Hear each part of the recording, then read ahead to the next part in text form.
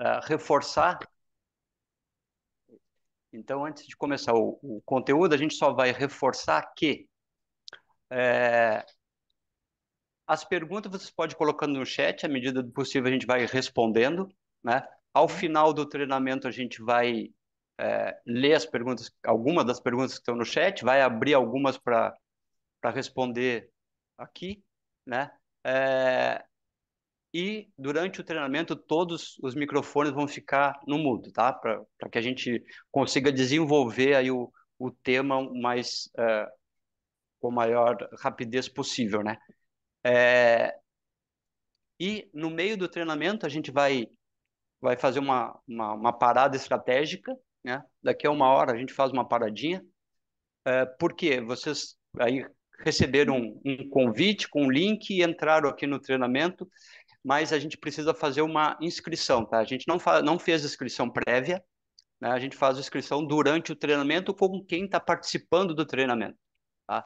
Então, uh, no meio do treinamento a gente para, uh, a, a Ju, que falou aí um pouquinho antes, uh, vai colocar lá no, no chat aquele link e vocês vão preencher com seus dados e também responder uma pesquisa sobre o treinamento em si.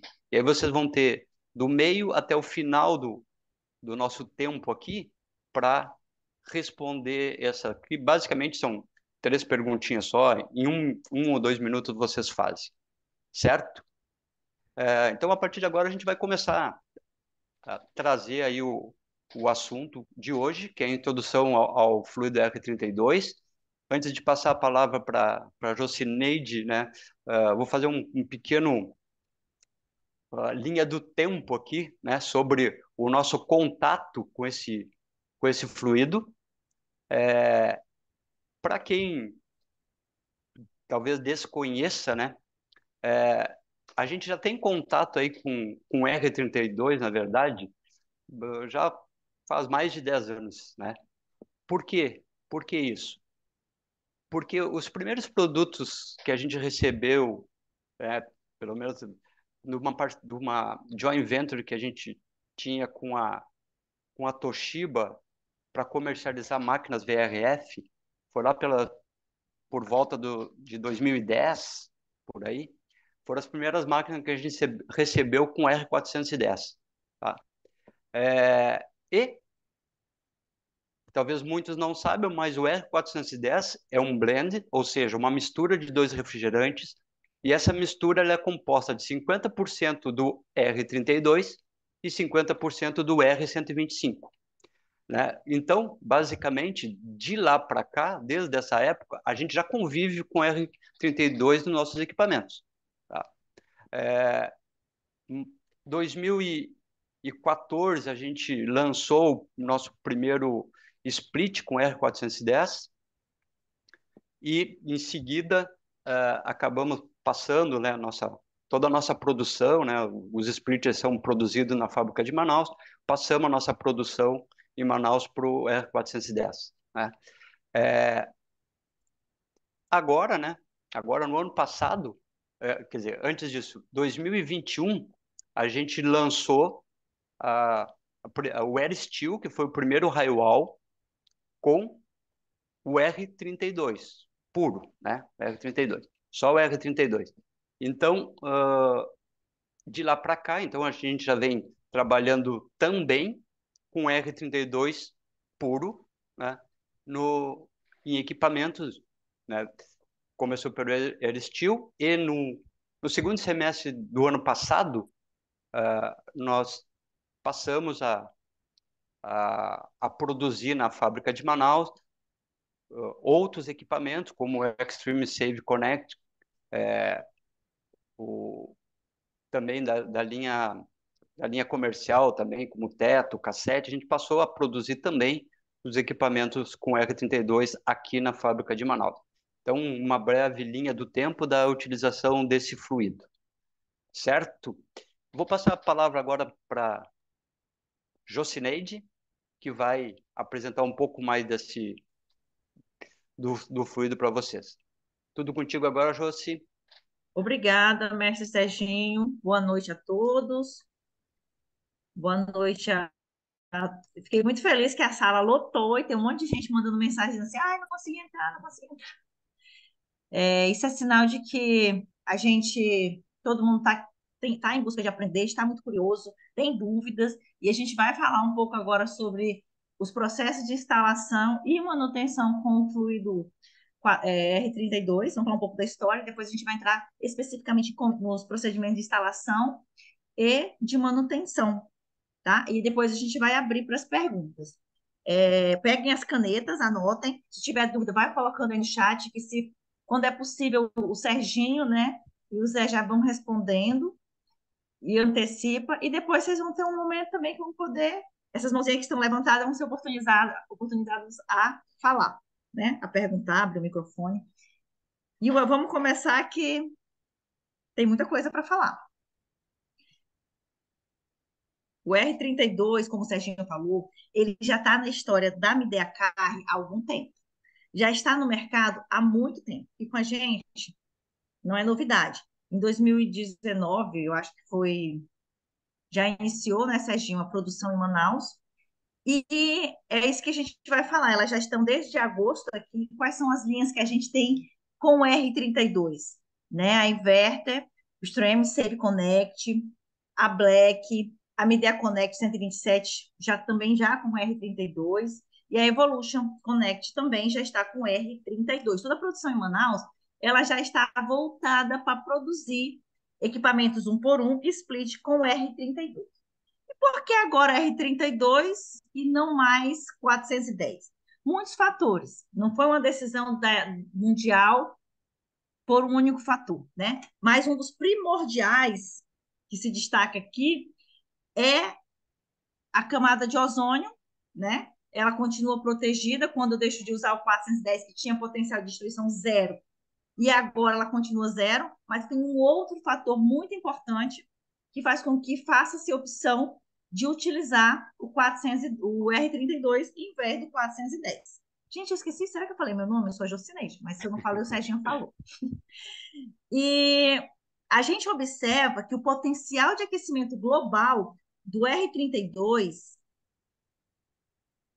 ele é 63%, 68% menor em relação ao 410, que é muito 2.090 de, de GWP. Em relação ao R22, também ele ainda é mais eficiente. Apesar de muita gente ter saudade do R22, ele não volta mais. Igual um dia, quem se despediu do R12 hoje pode acreditar que estão ficando cada vez mais distantes do R22. Não voltam mais.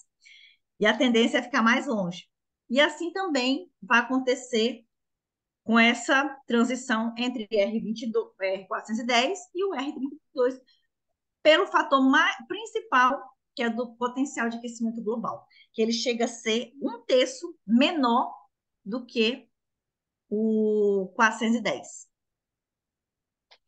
A, a linha também comercial, também a gente já está saindo com ela para o R32.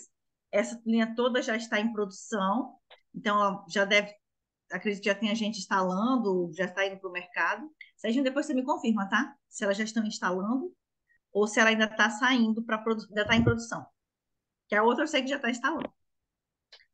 E esses são os ela países já que já utilizam. Já, já tem no mercado já já está comercializando, né? Já está chegando já no mercado já. Certo. Quem não instalou, está instalando esses dias, né, Sérgio? Uhum. Uh, e agora carga completa, tá? Não é mais cargas parciais, né? Sempre carga completa agora, até 7 metros e meio. Nem tinha que falar, mas eu falo assim mesmo. Uh, e os países que já usam em seus sistemas de climatização um por um o R32, né? já são os Estados Unidos, a Inglaterra, a Alemanha, os países europeus muito forte. Eu estive lá em 2019, 2019 isso. Eles têm muita essa receptividade por utilizar esses fluidos que causam menos impacto ambiental. Então, assim, falou que é impacto ambiental, eles investem mais em segurança, no que for preciso, mas eles são muito favoráveis. E não tem como o Brasil ficar fora disso, né? É, porque isso é um, uma condição mundial, a gente vai falar mais na frente em que acordo, que horas que chegou esse momento, do Brasil também dizer, não, temos que entrar com com fluidos com menos impacto, porque o Brasil ele faz parte do protocolo de Montreal, né? Ele também tem uma cadeira, ele também desenvolve ação, assinou que ter, estaria comprometido em reduzir os impactos ambientais com o uso de fluidos de refrigeração e ar-condicionado. E a redução da camada de ozônio é um dos fatores também né, que mantém-se o R32. Em relação ao 410, ele é zero também, em questão do, da destruição da camada de ozônio. A camada de ozônio, ela é uma, ela é uma camada muito perto da Terra, em média 15 quilômetros de distância da Terra, né? E que elas são destruídas com a emissão do cloro, que faz parte da composição do, do, do HCFC e do, e do CFC. CFCs a gente não acha mais, né? Que eram o R12, o R11. E agora temos o HFC, que é o R22, que ainda é muito vilão da destruição da camada de ozônio. Então, por isso que ele é um passo que se deu de conquista para a preservação ambiental que não se volta mais. Vai ficar saudade, vai ficar muitas coisas, mas não volta mais. E essa, o cloro, ele promove a destruição dessa camada, o que faz com que a Terra receba raios ultravioletas que trazem danos à saúde e à degradação do meio ambiente, alterando é, plantações, vegetais, promovendo câncer, promovendo, né, câncer de pele. E aqui a gente pode observar o aumento da, da destruição da camada de ozônio. Em 1980, esse azul claro era grave, mas em relação a 2021 é muito mais grave. E essa redu é, esse, é, reduzindo 1% dessa camada de ozônio, 50 mil novos casos de câncer de pele deixam de acontecer, começam a, a, a apresentar-se, 100 mil novos casos de cegueira. Então, é muito grave a devastação com a saúde humana, com a vida humana, se a gente não tomar uma providência. E uma coisa bem legal que eu gosto sempre de falar, para a gente ficar mais cheio de esperança, não dizer que nós somos, que as ações não têm efeito, tem. É, existe hoje, essa aqui é de 2021, setembro de 2021 foi, a, foi uma, uma foto, mas a gente pegar ali em 2013, 2012, percebe-se que a camada de ozônio ela foi destruída, né? Foi devastada de forma muito grande, porém, ela já diante do que ela já foi, ela já consegue, já conseguiu se regenerar pela não emissão do cloro dos fluidos. Por quê? É, são três moléculas ali, três átomos de oxigênio formam um ozônio. No momento que o cloro quebra isso, ela descaracteriza a molécula de ozônio e passa a ser oxigênio para um lado e outra molécula para o outro lado. E aí um dia elas podem se encontrar novamente e acontecer a regeneração da camada de ozônio. Só que, claro, que é muito mais lento, infinitamente mais lento, em relação ao que a, a degradação e destruição que o cloro faz. Então, as ações elas são efetivas, essa questão, ah, paramos de emitir o fluido, não dá em nada, né? Não, já existe já existe fatos, né, comprovados que a degradação, a camada de ozônio, ela tem esse potencial de se regenerar. E alguém está riscando meu quadro aí. E o protocolo de Montreal, como a gente falou, é um desde 1989 o Brasil fez adesão. É muito forte a participação do Brasil com o protocolo de Montreal, com o comprometimento dele. Ele tanto que o Brasil cada vez a gente tem uma meta anualmente a gente tem uma meta, eles têm uma meta para ser que é o Brasil diminuir a importação de R22, um exemplo.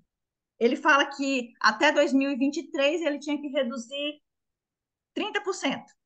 E o Brasil vai lá e diz assim: não, eu vou reduzir 39%. E ele, e ele cumpre. A quantidade de importação desses fluidos tem se tornado cada vez menor. Esse é o compromisso que o Brasil faz, né, para poder estar tá ativo e de forma eficiente, comprometido com os impactos ambientais que os fluidos fazem. Então, a gente vai para um outro probleminha, que é o chamado efeito estufa, o aquecimento global. Todo mundo diz que hoje está mais quente. Meu Deus, os dias estão mais quentes. Estão mesmo. Isso é devido ao aquecimento global. O aquecimento global ele vem também ao impacto causado pela emissão dos fluidos de refrigeração que a gente trabalha.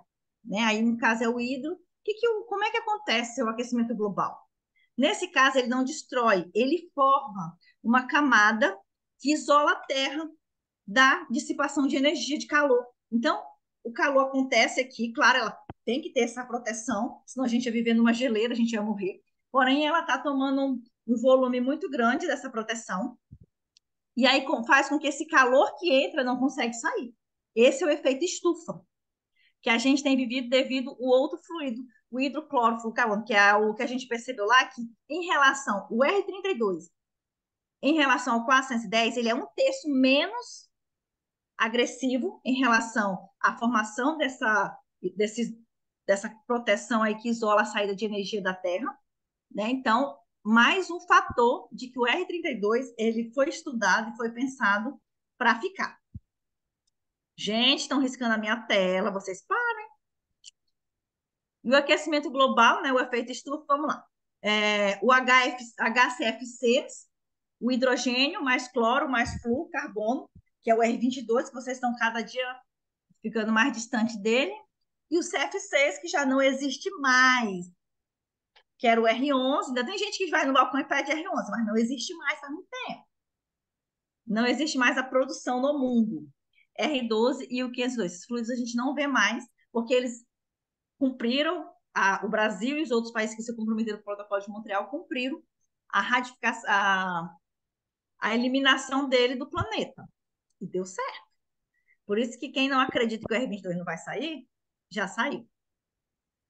E aí a gente vem os hidroclorofluorcarbono, hidrofluorcarbono, né, que é o HF6, que são os gases que vieram, no, que vieram com o objetivo principal de não destruir a camada de ozônio e foi evoluindo também para diminuir o impacto com o aquecimento global, que é onde nós chegamos hoje, que é o R32 né? Que são o R131, o 134A, né? Faltou aqui, 404A, 407, 410 e o R32 são HF6, hidrocloro carbono e hidrofluorcarbono, não tem cloro. Porque ele não destrói a camada de ozônio, mas ainda tem um potencial de aquecimento global. Uh, falei tudo, 410 é um blend, importante eu falar, o 410, como a gente falou, como o Serginho falou no início, o R32 está na nossa vida ó, faz muito tempo.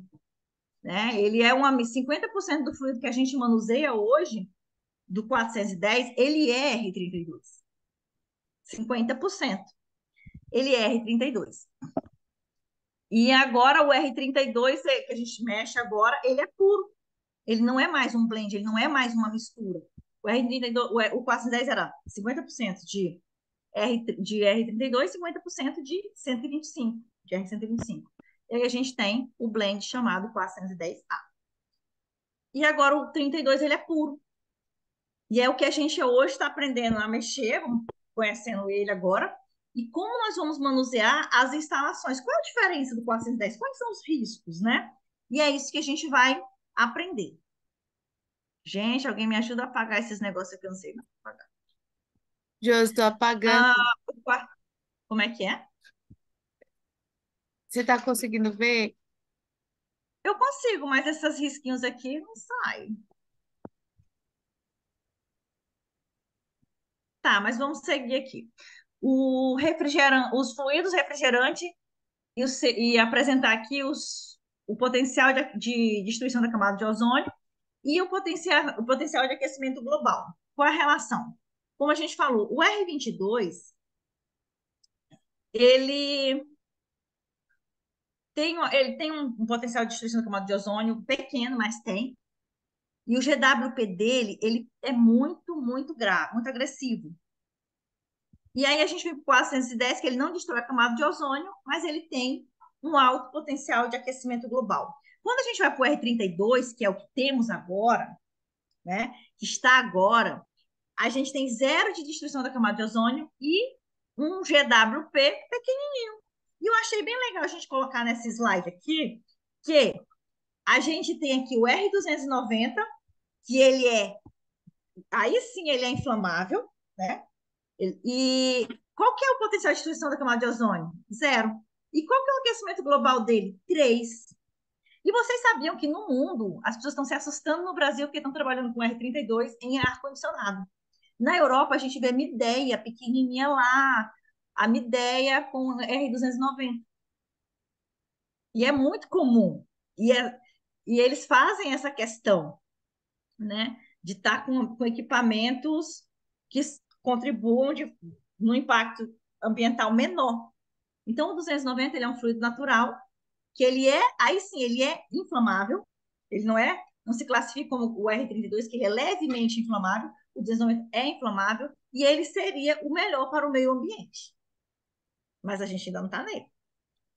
Com os compromissos que o Brasil tem feito, por exemplo, com a emenda de Kigali, uh, o Brasil ratificou a emenda de Kigali, que foi, é, Kigali aconteceu em 2018, uma convenção do Protocolo de Montreal, onde em Kigali eles fizeram uma emenda que incluíram os fluidos HFCs na emenda de Kigali. O que, que quer dizer isso? Esses fluidos também, o 410, eles também vão sofrer redução de utilização nos países que se comprometeram. O Brasil, ele, tá, ele faz parte do grupo 1. Isso quer dizer que, a partir de 2024, a gente já, vai, já se comprometeu, o Ministério do Ambiente já se comprometeu com ações para diminuir o consumo de 410. Depois vocês pesquisem aí. Mas é bem assim.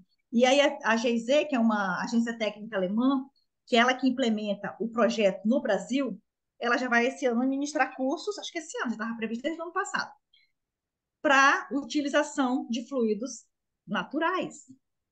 Então, assim, é, está se acordando e está muito mais profundo do que se imagina no campo. Para se diminuir o uso de 410 e trazer fluidos que sejam é, menos nocivos a, a, a danos ambientais. E aí a gente vai ter que investir em segurança. E agora vamos fazer uma comparação entre os dois fluidos. A densidade, né, do R32 é menor. A quantidade de R32 necessária em um sistema também é um pouco menor. O GWP é muito menor. Eu queria falar muito. A eficiência do R32 é 1,5 vezes maior em relação ao 410. Ele é mais eficiente. E ele utiliza o mesmo óleo. Isso mais na frente vocês vão ver que vocês não vão. É como se vocês não tivessem trocado de fluido para trabalhar no manuseio do dia a dia.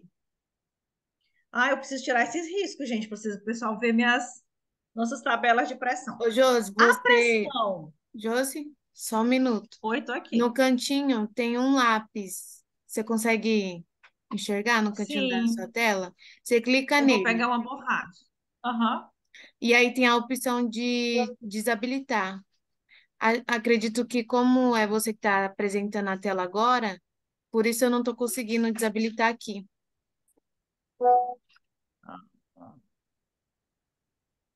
Mas eu consigo limpar, eu vou conseguir limpar esses riscos? Não consigo. Consegue. Já conseguiu. Conseguiu? Ok. Conseguiu. Ah, então, as pressões, né, do R32 e 410 são muito semelhantes. A temperatura de condensação é bem próxima, a gente vai ver no próximo slide, da do 410. Aí aqui a verde, você tem o R32 e a vermelha, o 410. Olha como, como elas, a relação de pressão e temperatura, elas se aproximam muito. Aqui na temperatura, ah, não está dando. Tá. Aqui na, na temperatura de evaporação, elas estão juntinhas. Juntinhas, juntinhas mesmo. Vamos aqui, ó. Na nossa temperatura de evaporação, meu óculos não enxerga, é pertíssimo, vamos dizer que é ali 5 graus. E aí elas diferenciam um pouco na temperatura de condensação, mas é muito pouco. A gente vai ver mais na frente um slide que mostra essa diferença pequenininha. Aqui, ó. As pressões manométricas do 410 em relação às temperaturas, a temperatura de evaporação, o 410 a 120, né? Uma diferença ali ai, de 2,7 PSI, pouquíssimo, dependendo do manifold, você nem percebe isso, dependendo do erro de paralaxe, da, do, do da visão de parala, paralaxe, você não vai perceber isso, dependendo do lado que você estiver vendo o ponteiro do manômetro. E a temperatura de condensação, ela vai diferenciar um pouco mais. Mas também, se não estiver atento, você também se perde. A temperatura de saturação, olha, há uma diferença de 11,3 PSI. Essa é a diferença. Mas dá para você identificar o fluido. Essa, essa diferença é o suficiente para você identificar o fluido num cilindro. Ah, você, o que fluido que está aí? Põe lá o manifold e vai na tabela de pressão que você vai saber. Certinho? Ok. Quer falar, Serginho? Sim, podemos falar. É, é... Então, assim, ó, conforme a, as normas vigentes aí, o, o... pode passar um slide. É, conforme as normas vigentes que tem, ISO, né? É, o R32 ele é, ele é classificado ali como A2L, né? Então, o que que significa esse esse A, o que que significa o 2L? Em relação o A vai indicar a toxicidade, tá? Então, o A indica que ele é não tóxico. Né? E o 2L indica que ele é levemente inflamável. Então, essa é a classificação do, do, do R32 né, conforme, uh, conforme os testes que são feitos né, na, no desenvolvimento do, do, dos testes de desenvolvimento do produto. Pode passar. Já? Uh, então, é bem interessante, olha só, R, não vou dizer que o R32 ele não é inflamável, isso é mentira, como a norma diz que é. ele é levemente inflamável, sim, não chega a ser inflamável. E aí você, ele faz uma comparação aqui dos fluidos, ó, o R32 pegar aqui minha ponteira. Pega o, ah, o R32, ó, ele, é do, ele, em questão de inflamabilidade, ele é A2L. Então, ele é mais próximo do não inflamável, né? Aqui, ó. Ele, o não inflamável seria o R22 e o 410. E olha ele aqui, ele é o próximo. Do que o inflamável. O inflamável, está aqui, ó. Então, ele está mais próximo do não inflamável do que o inflamável. A, quando você para para analisar aqui, ó, que aqui você tem o, o, levemente inflamável, só que ele é um A2L. Ele nem é um inflamável, nem ele nem é um não inflamável. Aí gerou, criou-se, acredito, uma categoria de A2, aí colocaram um L. Então ele está mais próximo de não, não que ele não seja inflamável, mas ele está mais próximo de não ser do que ele ser. E é uma coisa bem interessante a gente falar que os mesmos riscos que a gente que a gente encontra agora, eles eram alertados quando, se, quando a gente manuseava o 410. As informações que chegaram de segurança também eram muito semelhantes a essas que a gente vai falar mais na frente. Em questão de toxicidade, né, ela já não tem, já é outra classificação. E. Peraí que eu tenho que tirar isso aqui da minha frente. Não posso deixar de falar. A classificação levemente inflamável, uh, a uma velocidade de 10 centímetros por segundo, né? Então, assim, é muito mais lento em relação ao inflamável, que é os propanos.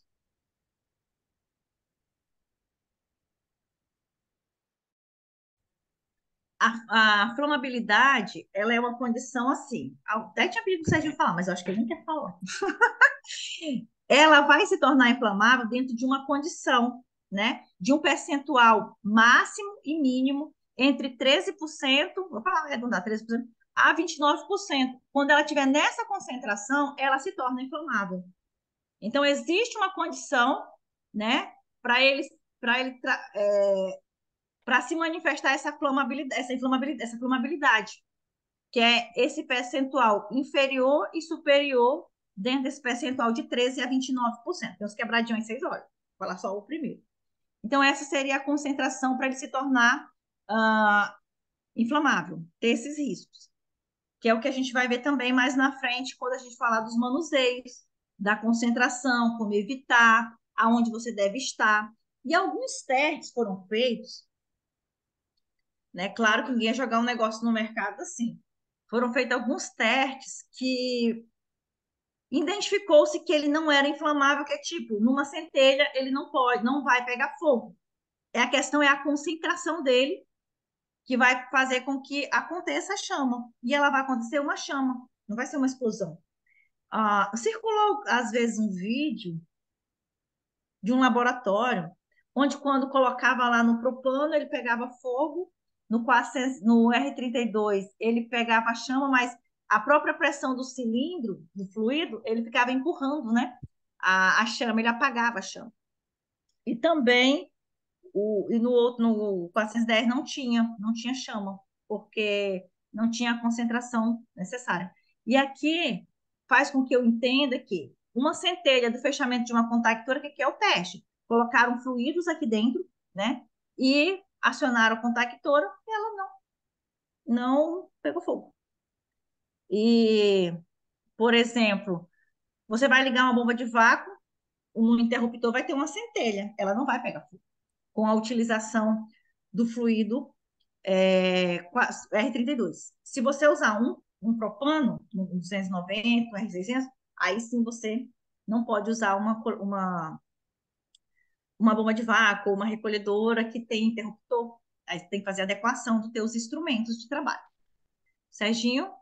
Aí a questão da concentração, como ele é a, a toxicidade, ele é um fluido denso, a parte inferior sempre vai estar tá mais, é, tende a descer, não posso, descer para baixo, eles não vão rir, mas tende a, a, a, ficar mais denso, ficar na parte inferior. Por isso que mais na frente você vê assim, ah, eu não posso pôr tomadas na parte de, na, na parte de baixo do ar-condicionado na instalação para evitar essas, é, a questão da concentração também, da flamabilidade e a toxicidade também. Devido à densidade, ele sempre vai procurar estar na parte inferior. Quer falar, Sérgio? Não, só complementar que, obviamente, na parte inferior ali é, é onde a gente, onde a gente é, tem a maior concentração, é onde tem o maior risco. Então, é, o, essa, essa informação, a próxima que apareceu aí, né, que existe existe um, um, um uma área mínima para a gente instalar um, o equipamento, porque caso ocorra um vazamento na evaporadora, por exemplo, né, é, o, o refrigerante todo vai sair desse, vai, vai ficar nesse ambiente. Se esse ambiente não tiver ventilação, né, ele tende a concentrar. E aí, é, a dificuldade é essa. Nessa, ele vai concentrar na parte de baixo, e aí quanto, quanto menor a área, né, mais concentrado ele vai ficar na parte de baixo. E aí tem um risco, por exemplo, é, essa medida é feita com uma altura de aproximadamente 60 centímetros, né? Que, por exemplo, considerando um quarto, né, onde tem uma pessoa dormindo, né, vai ser mais ou menos essa altura. Então, esse, esse é o maior risco. Então, por isso que né, existe essa restrição, existe essa recomendação. Então, isso é uma informação muito importante aí na, na quando for instalar o equipamento, fazer essa verificação. Se for um, um ambiente muito pequeno para o tamanho da máquina, é, tem que levar isso em consideração, sim, porque esse é um risco que a gente tem. Tá? Então, como o raio a carga toda a linha de raio a carga ela é menor, né? Então, a gente respeitando esse limite de 4 metros quadrados, atende. Tá? Pode passar para o próximo aí, José. Sim, legal.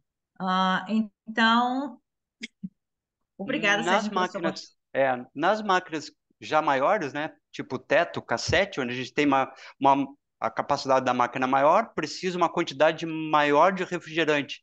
Obviamente que também uh, vai gerar uma concentração maior se a gente tiver a mesma área. Então, né, lá no manual existe essa tabelinha que, que mostra qual é a área mínima. Né? Então ali tem duas colunas, uma para uma altura de 1.8, outra para uma altura de 2.2. Normalmente a gente vai usar a coluna de 2.2. Então uma máquina, por exemplo, de 30 mil BTUs, a gente tem que instalar uma numa área mínima de 4, 4 metros e meio, né, de área. É, claro que, pense bem, uma máquina de 30 mil BTU, 4 metros quadrados, né, seria, seria 2 por 2, né? Então, uhum. não é lógico ninguém fazer isso, né? Mas por isso vai essa recomendação, vá que alguém resolva fazer isso, existe esse risco, se houver um vazamento, de ter uma concentração maior nessa parte de baixo. Certo. E então, na hora da gente selecionar esse equipamento, a gente não tem somente que levantar, levantar em consideração a carga térmica. A aplicação dele também vai, vai é indicado para, para uma área mínima. Porque às vezes a gente tem um ambiente pequeno que tem uma carga térmica grande, né? Dependendo do que está executando ali. Mas tem que ser considerado que ambiente um equipamento de 30 mil eu posso colocar, de 36, no mínimo, dentro dessas, dessa, dessa, dessa área aí. Vamos falar agora da instalação, a parte que todo mundo gosta, né? As instalações, eu gosto de começar a falar aqui. Primeiro dos instrumentos de, de, de instalação. O que, que vocês vão precisar para instalar o equipamento de R32? uma bomba de vácuo, vacômetro, multímetro, tudo isso que vocês estão vendo aí, balança, recolhedora de fluido. Sabia que todos esses instrumentos aqui, ó, você utiliza, nós, como IDEACAR, instruímos, desde quando tinha o 410, desde quando trabalhávamos só com 410, a usar todos esses instrumentos aqui. Todas as nossas apresentações têm a utilização de um cilindro e uma recolhedora. Eu que incluía e um detector de vazamento, tem que ter. Tá faltou, mas está aqui, ó. Esses são todos, tudo que você precisar para instalar um, um R30, uma máquina com R32, são os mesmos equipamentos e instrumentos para utilizar, que utilizou-se para fazer a instalação do Costas 10. Mesmo manifold, mesma mangueira, mesma bomba de vácuo, tudo igual. Ah, mas eu não usava recolhedora a, a Mideacar, todo mundo já leu o manual aqui da Mideacar de uma máquina 410? Eu quero que você amanhã leia, baixe lá no Midea Play e vai ver assim, nossa, que eles já falavam que eu não podia recolher o fluido para dentro da condensadora. Vocês vão ver isso? Aí, se vocês quiserem voltar na próxima live, vocês me contam. É, eu vi. Ou diz assim, não, não vi. Você vem aqui e me conta. Mas já está lá no manual. Nós já instruímos desde sempre usar a recolhedora de fluido. Então, os instrumentos, você, que você que está no mercado, fazendo um bom trabalho, utilizando boas práticas, você não vai ter dificuldade. Porque você vai usar as mesmas, os mesmos ferramentas, instrumentos e equipamentos. Não muda. EPI. E agora? Eu até vi uns memes aí no, nas internet, o pessoal usando capacete e tal, mas os EPIs também são os mesmos, os mesmos EPIs recomendados para fazer as instalações com o R410 ou o R22, idêntico. Você vai ter luva, você vai ter que ter cinto, se for trabalhar em altura, vai ter que ter bota de proteção, vai ter que usar óculos, capacete, tudo igual. Tá com trabalho acima da sua cabeça, é uma pisiteta, não sei por que você usa capacete, mas você tem que usar. Tá lá, vai que solta uma chave lá. Eu vejo muito instalador, acho que não precisa usar capacete, mas precisa sim. Tudo que está sobre você tem que usar. Vai que não aperta direito, sei lá, e cai por cima de você, tem que usar capacete. Recomendação. Eu, eu gosto de frisar isso porque eu sei e eu vejo no campo que não usam. Mas capacete é um item de proteção do instalador de ar-condicionado, sim. Ah, então, os mesmos EPIs. Se você. Ah, agora. Não. Se você trabalha sem óculos, o que eu acho que ninguém aqui, dessas 500 pessoas, não trabalham sem óculos, não trabalha de óculos. Trabalha com luva, capacete, né? Botas. Então, não vai ter dificuldade. As informações de perigo do R32, nos casos das instalações e manutenções, estão contendo, já estão em todos os manuais. Como eu falei com vocês, se vocês voltarem nas máquinas do 410, essas recomendações já estavam lá, já estão lá. Mas vamos falar a partir de agora. A página virou, agora é R32. Eu só quero que vocês entendam que, se você aplicou as boas práticas em 410, não tem o que mudar nos cuidados, né, no processo de desidratação, flange, agora com R32, né? Ah, ele tem perigo aqui, ó, perigo de refrigerante. Vou ler isso aqui, que eu não gosto de falar. Vocês não vão acreditar em mim se eu falar. Então, é importante observar que este equipamento utiliza, utiliza como fluido refrigerante o R32, inflamável, e que requer cuidados especiais de segurança nos procedimentos de instalação e manutenção. Caso haja necessidade de manuseio das unidades, das unidades, verifique mais adiante as informações constantes na seção manual de instalação ou entre em contato conosco. Né? Apesar da norma dizer que ele é um, ele não é inflamável, mas ele é levemente inflamável, a gente adverte que ele é, o manual adverte que ele é, o R2 é inflamável. Para você ter esse cuidado, essa atenção. Não se, é, quando você tiver na questão da posição da evaporadora, nem tem o que falar. Eu tinha falado lá que você não pode colocar as tomadas na parte inferior por causa da concentração, né? E também a tomada ali vai que foi enchendo, foi enchendo, a concentração chegou lá. A gente coloca sempre na parte do lado ou superior. Evitar nos ambientes de que são, tenham fonte de calor, no caso de lareira ou outros. Posicionamento da evaporadora. A brasagem. E agora, gente, se eu brasar, eu posso brasar a máquina se eu tiver que fazer emenda de tubulação, manutenção, eu posso brasar normal.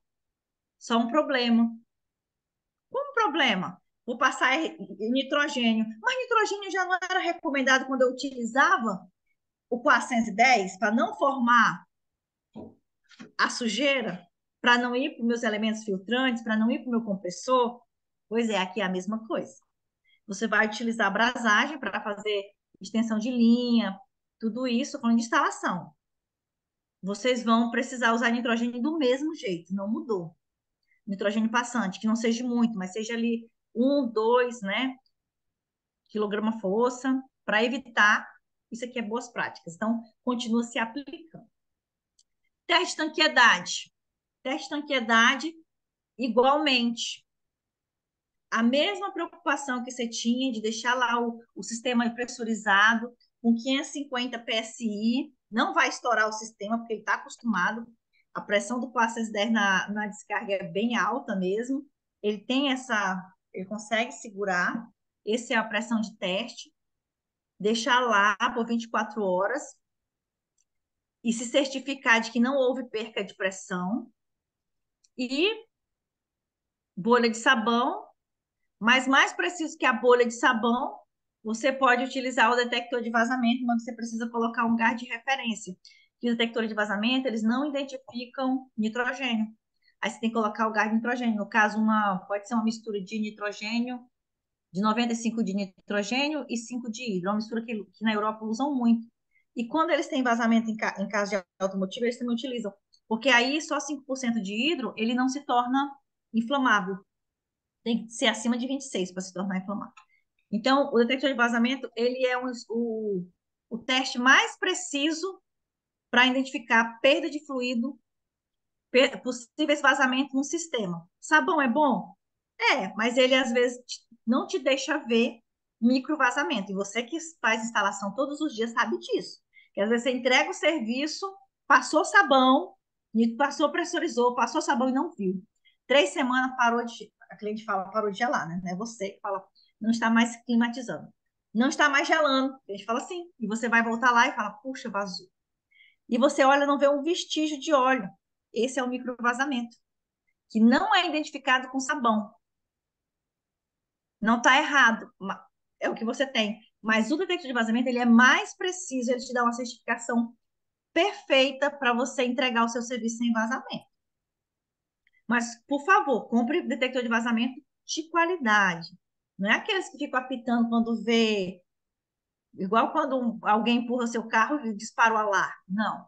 Tem que ser um detector de vazamento de qualidade, confiar, que traga essa confiança. Desidratação. Eu preciso fazer desidratação vácuo na minha, na minha instalação com R32? Sim, igualzinho. Até quanto? Igual. Até 500 microns. Eu gostava quando era 250, mas agora pode ser 500. Ah, então, e aí eu preciso fazer o teste, fazer a desidratação, e tem que dar estanque no máximo em 700 microns de mercúrio, 700 microns, e passar uma hora, duas horas, três horas e ficar estanque. Não pode nem subir nem descer de 700. Ah, mas quando chegou. É que eu, eu não consigo ver aqui, deixa eu ver se eu consigo mexer. Não, não consigo, mas deixa. Ah, mas chegou aqui em. Deve ser uma hora aqui, que eu não tô vendo direito. Em uma hora chegou em mil microns, tá bom? Não, tá bom, precisa fazer mais vácuo, ué. Não está bom. Eu preciso voltar e continuar o meu processo de desidratação. Uma coisa importante eu gosto de falar. Tem gente que instalador que fala que conta, eu gosto de, eu quero uma bomba de 12 CFM porque é rápida, é boa. Não é verdade. Ela vai te vender. Porque a, a, se eu pegar, se eu não souber escolher a bomba adequada para o meu sistema, eu vou ter um problema de, ao invés de eu retirar a umidade, eu vou congelar a umidade. Aí vai baixar rápido. Isso é coisa de campo, eu vejo isso. Eu vejo gente direto falando, ai, tá com vazamento, não tá, às vezes é a bomba que tá mal dimensionada. E aí, na hora que ele fecha as válvulas e desliga a bomba, sobe rápido. Aí descongela, né? Então, é um cuidado para se ter quando você vai também escolher sua bomba para desidratar. Isso para qualquer sistema. Então, o mesma desidratação, o mesmo vácuo que eu faço para é, 410, eu vou fazer para R32. Nenhum dos dois fluidos é admissível não fazer vácuo. Usar outro método. O único método seguro de desidratação do sistema é o vácuo. É por meio de vácuo. Não tem outro jeito. Ah, mas só um exemplo aqui. Vácuo descobre vazamento? Também, ele te ajuda. Deu lá uma hora, uma hora estanque, continua subindo, não para, vai até 14 mil. Eu tenho um vazamento, uma cratera aí, né? Então, o vácuo, ele não tem que ser negligenciado por, por dois fatores. Primeiro que o sistema precisa estar sem vapor de água, no, só com a quantidade mínima do mínimo do mínimo, que eu acho que é 12, ai, não lembro agora, mas é um, tem um limite que já fica, porque não existe vácuo absoluto, só mesmo, só mesmo no espaço, né? E, e a questão também da identificação de vazamento, ele também te, te auxilia. Então, não tem como negligenciar e deixar de fazer. Eu acho que você não tem esse problema na sua empresa, no seu trabalho, né? Tem vacômetro, não se mede vácuo com tempo, não se mede vácuo com. Não, só tem isso: tempo e vacômetro, só tem vacômetro. A única forma de você identificar a condição de excelência do vácuo, de aprovação. Ah, tá. E a umidade não pode trabalhar com fluido, que perde eficiência, traz problemas no compressores de oxidação na parte ferrosa. Ah, sempre gosto de falar, quando você não faz vácuo, Sabe uma coisa que acontece muito em prática? Às vezes você já chegou num, sistema e observou que o manifold, agora mundo tem digital, né? Mas o analógico ficava oscilando. Por que, que fica oscilando quando se tem umidade? Porque fica vapor de água congelando ali na temperatura, ali na, na entrada do dispositivo de expansão, na saída do dispositivo de expansão. Tem umidade, cai a temperatura, congela, aí é, fica oscilando a pressão de sucção porque a umidade congela, descongela, fica naquela variação louca, e você consegue ver isso no manifold. Claro que tem que ser uma quantidade de umidade muito grande para você ver isso. E antes disso, de você chegar num tanto de umidade que você consiga ver, você, perde rendimento, traz desgaste prematuro para o motor, compressor, isolação do motor, vários problemas a, a presença de gases incondensáveis, é o que eu estou falando aqui que ele provoca. Tudo isso que eu falei com vocês. Oxigênio, oxigênio presente no ar, dependendo da temperatura e pressão e da sua proporção, pode formar misturas oxi-refrigerante e óleo inflamável. Então, não temos outra opção. Além de todos esses prejuízos que você traz para o seu equipamento e para o seu cliente, ele, quando juntou tudo isso aí, Aí já viram umas historinhas antes? Pois é. O oxigênio, o fluido e o óleo, ele se torna inflamável. Isso precisa de ter muita atenção. Mas só que você não vai ter problema com R22, porque você já fazia vácuo com 410 e com R22, não fazia? E a presença de ar oxigênio dentro do sistema de refrigeração não é permitida em hipótese alguma. Falei várias vezes, vocês até cansaram de falar. Não tem possibilidade de não fazer vácuo, tem que fazer. Falei isso quantas vezes? Um monte de vezes aqui, né? Então, o vácuo, ele é um dos procedimentos mais importantes da instalação. Ah, mas eu não fiz vácuo, não deu nada, não. Pois é. Por isso que você deu muita sorte. A umidade, a umidade é capaz de produzir efeitos mais danosos, tais como oxidação das partes ferrosas, como a gente já tinha falado, né? O pior efeito resulta na formação de um ácido quanto, umidade, é, quanto à umidade. Reage com refrigerante e óleo do sistema. Este ácido corrói o verniz da bobina, do compressor, promovendo queimas antes do tempo. Aí depois querem colocar, dizer que a, a concessionária não é boa de fornecimento de energia. Ela também não é boa, não, mas você também ajuda, né? Não, você não. Os outros 500 que não conseguiram entrar, os 500 que estão aqui, todo mundo desenrola. Complementação de carga de fluido, gosto disso. Que agora todo assim, bom, agora é R32, eu posso complementar, tá? Vamos ver falar da instalação. Depois da instalação, eu tenho que complementar o fluido. Josi. Oi, Serginho, tem que parar, Oi, né? oi. Não, tá eu bom. acho que tu tá precisando tomar uma água. Ah. Eu acho que antes da gente começar a passar para o assunto de carga, né? Então a gente faz uma paradinha estratégica, como a gente tinha combinado lá no início, é, para a gente reforçar alguns recados. E eu já vi que teve gente que já perguntou aí no, no chat também a questão do, desse material didático, tá? Então, é, a, a, a Ju, que está nos dando apoio técnico aqui, vai colocar no chat agora um link, tá? Um link do, do que começa lá com Deutsch, tá? Para que, que que vocês precisam disso, tá? É, esse link vocês vão fazer uma inscrição, né? Eu falei lá no início, né? É, a gente não não faz uma inscrição prévia, a gente faz uma uma inscrição com quem está participando do treinamento, certo? Então, vocês vão clicar nesse link ou copiar ele, colar no seu navegador, tá? E, a, e aí vocês vão colocar os seus, seus dados, e isso sim é, é, é a inscrição. E também já vão aproveitar para avaliar esse treinamento, tá? Então, são basicamente três perguntas, né? Uma vocês vão avaliar ali dando uma nota de, de 0 a 10, é, e depois vocês podem descrever ali pontos positivos, pontos que a gente pode melhorar em relação a, ao treinamento em si, certo? Bom, com isso, isso completo, vocês fazendo isso, tá?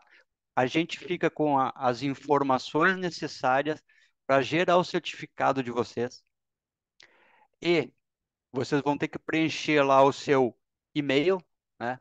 E uh, a gente posteriormente envia para esse e-mail tanto o certificado de participação nesse evento de hoje, quanto uh, esse material em PDF.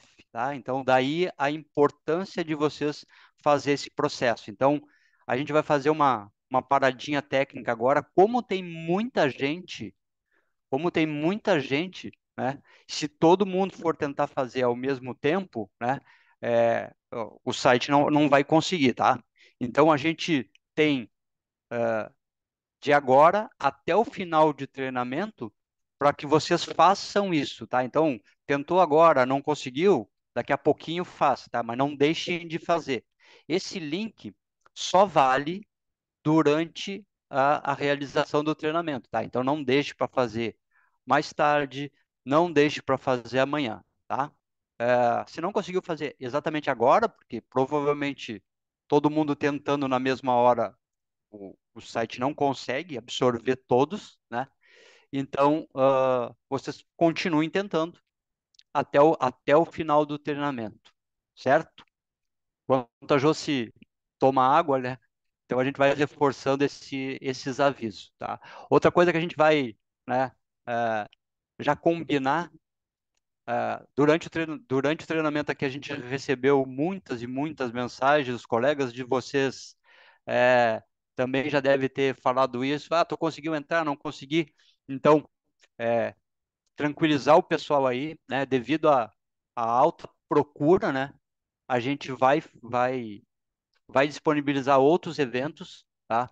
É, com esse mesmo conteúdo. Então, a gente vai continuar. Provavelmente amanhã aí a gente já, já dispara mais, mais é, convites com outros links, com novas oportunidades, né? De, de data e horário para que o pessoal também possa participar, certo? Então pode tranquilize o pessoal aí que a gente vai, né? Claro que a gente não conseguiu atender todo hoje por causa da, da grande procura. Que bom, né? Isso para nós a gente é motivo de, de orgulho, de alegria que as pessoas estão procurando, né? Se interessando pela, pelo conhecimento em si, né? Esse mesmo treinamento a gente já fez ele uh, no ano passado, em algumas ocasiões. Todo esse conteúdo a gente passa nos, no, nos treinamentos regulares que a gente tem, né? É, então, não é assim uma para a grande maioria quem quem nos acompanha, né, o pessoal da nossa rede, quem nos acompanha, né, é, a gente já fez outros eventos como esse, né? Nunca tinha tido tanta tanta gente como hoje, né? Mas é, não é o primeiro treinamento que a gente faz de, de, desse assunto, né? Desde 2021, quando a gente lançou o AirSteel, a gente já já fez esse esse treinamento no nosso aplicativo que é o Mideia Play, né? A gente tem esse o treinamento lá no dentro, tá? Uh, que a gente vai reforçar ainda ainda hoje aqui. Então existe essa informação disponível, né? Talvez o pessoal não, não tivesse até agora tido acesso, né? Mas, é, então, que bom que vocês estão conosco aí, aproveitando essa oportunidade.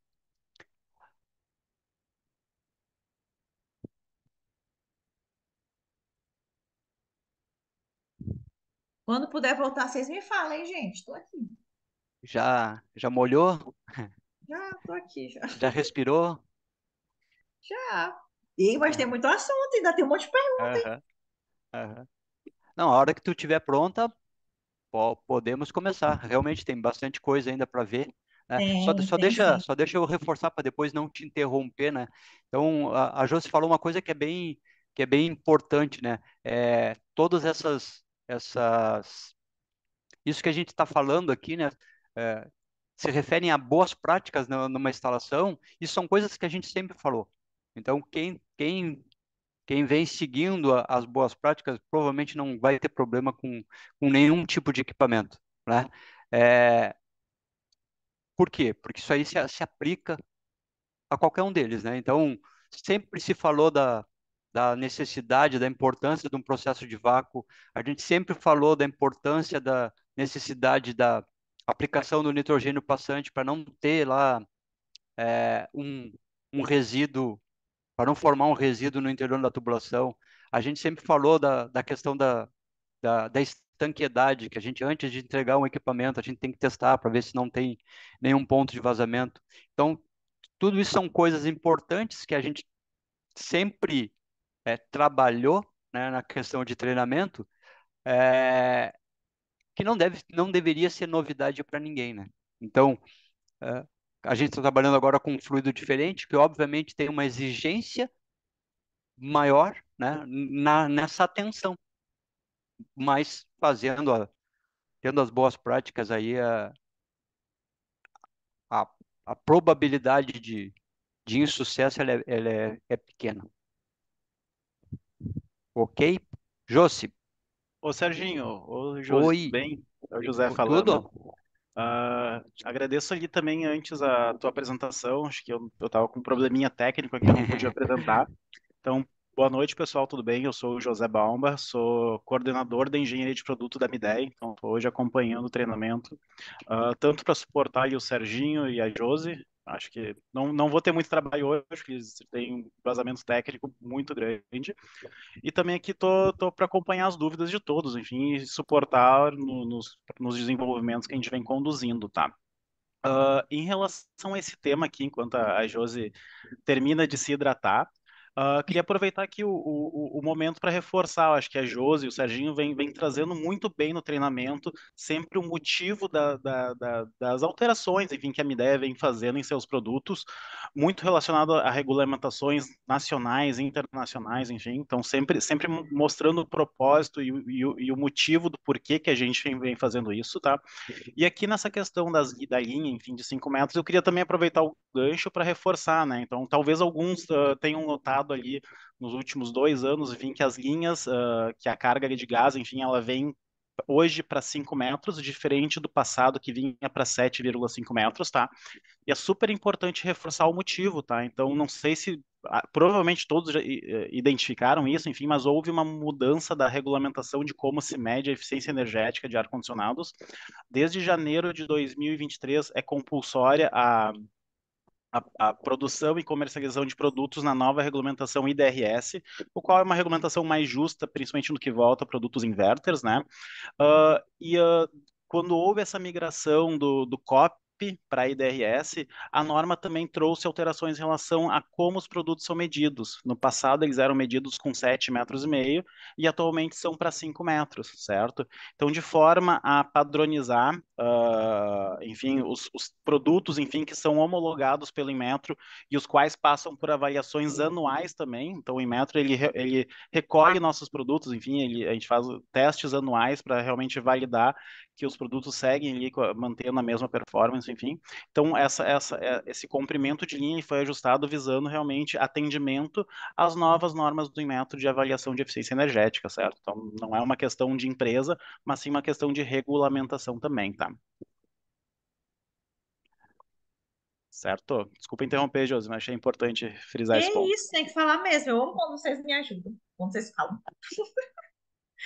Gente, mas é, vamos seguir. Como a gente falando do a adição de fluido vai acontecer normal para R32 também. E como o José, o José falou, né, agora são 5 metros, quando a gente vai para as linhas comerciais é até 7 metros. Ah, aí ele dá esse exemplo desse do, do Save Connect, né, numa de 18 mil, ela tem ali que adicionar 15 gramas por metro, né? E aí, como é que ele vai fazer esse cálculo? né? Se ela já vem ali para 5 metros de, de comprimento. Então, eu preciso ver o comprimento real, né? Que no caso aqui são 15 metros.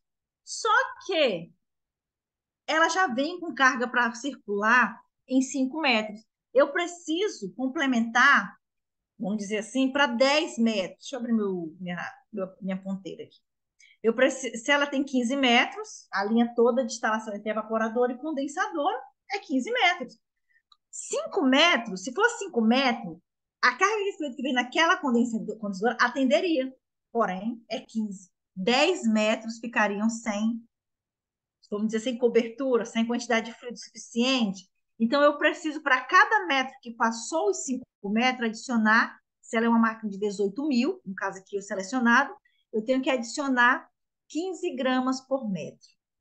Então, se eu tenho 10 metros, eu vou adicionar 150 gramas nessa instalação. E aí, como é que eu faço essa adição de fluido? Como é que coloca a carga de fluido do, R, do R32? Conta para mim. Eu sei que vocês já sabem. eu sei que todo mundo já sabe, né? E aí ela vai estar tá aqui na tabelinha a quantidade, né? A unidade condensadora, no caso aqui, são produzidas em fábrica com carga até 5 metros, reduzindo. Ah, vamos. Utilizando um sistema de tubulação integrado. Ai, minha ponteira.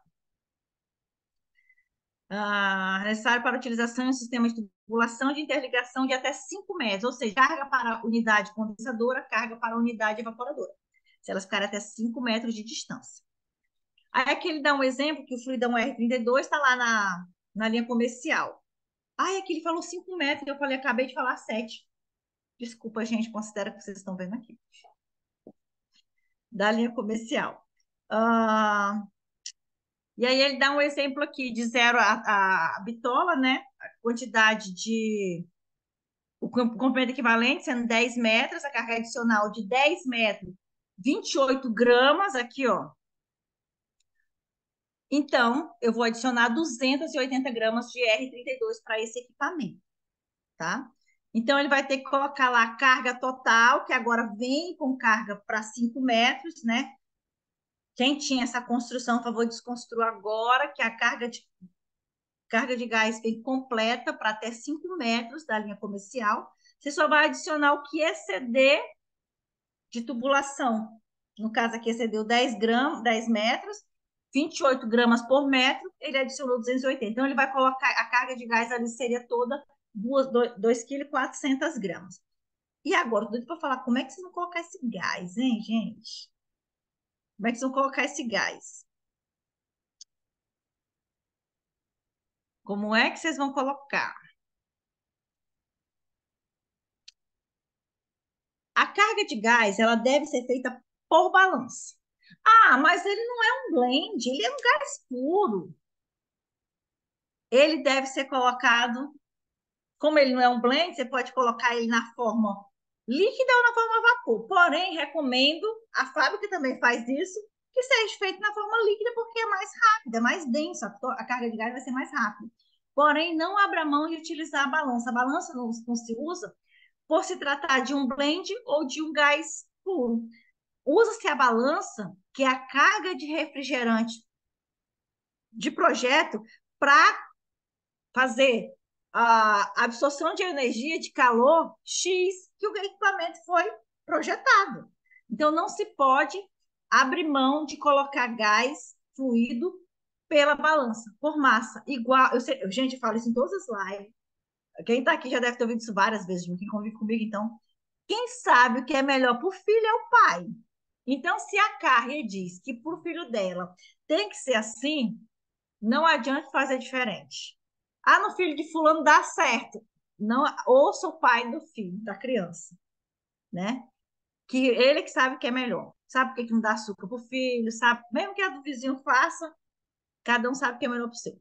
Então, recomendamos que a carga de fluido refrigerante seja feita por massa. Ah, mas se eu coloco, não tenho balança. Você nem deveria estar trabalhando com refrigeração, né? Providencie uma balança.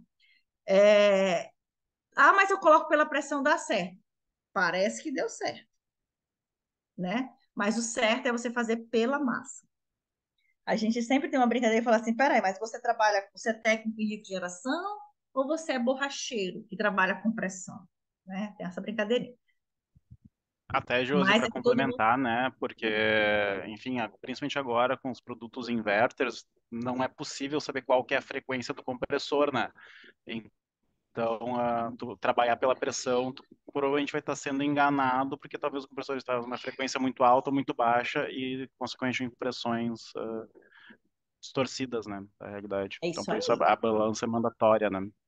Isso, a gente tem um volume, como é um inverter, a gente tem volume de fluxo variado, então quem vai, demanda, quem vai dizer que a pressão está falando, está no, tá no nível máximo, nível mínimo, está no teu padrão, no teu padrão. Temos temperaturas externas também que influenciam nisso. Então, temos vários fatores, né, Zé? Para enganar o técnico dizer que estava tudo bem, mas não era bem assim, podia ter ficado melhor, né? Então, pode ser utilizado, como eu falei, ah, eu quero colocar na forma gasosa porque a máquina está funcionando. Não deve, coloca pela forma líquida com o equipamento desligado é o recomendado. Mas se colocar na forma gasosa, se ele está cheinho, está indo, não tem problema. Não vai, so, não vai ter aquela possibilidade de desproporcionar é, a, a, a, composição entre um fluido e outro, como acontecia no 410. Isso é uma coisa bacana. Ah, mas se der vazamento. Ai, falta muito slide, já chegar lá. Ah, não realize recolhimento de fluido refrigerante utilizando-se compressor na unidade condensadora. Isso é fortemente, ah, eu falo, já falava isso nos outros treinamentos do 410 também, não se recolhe fluido para dentro da condensadora.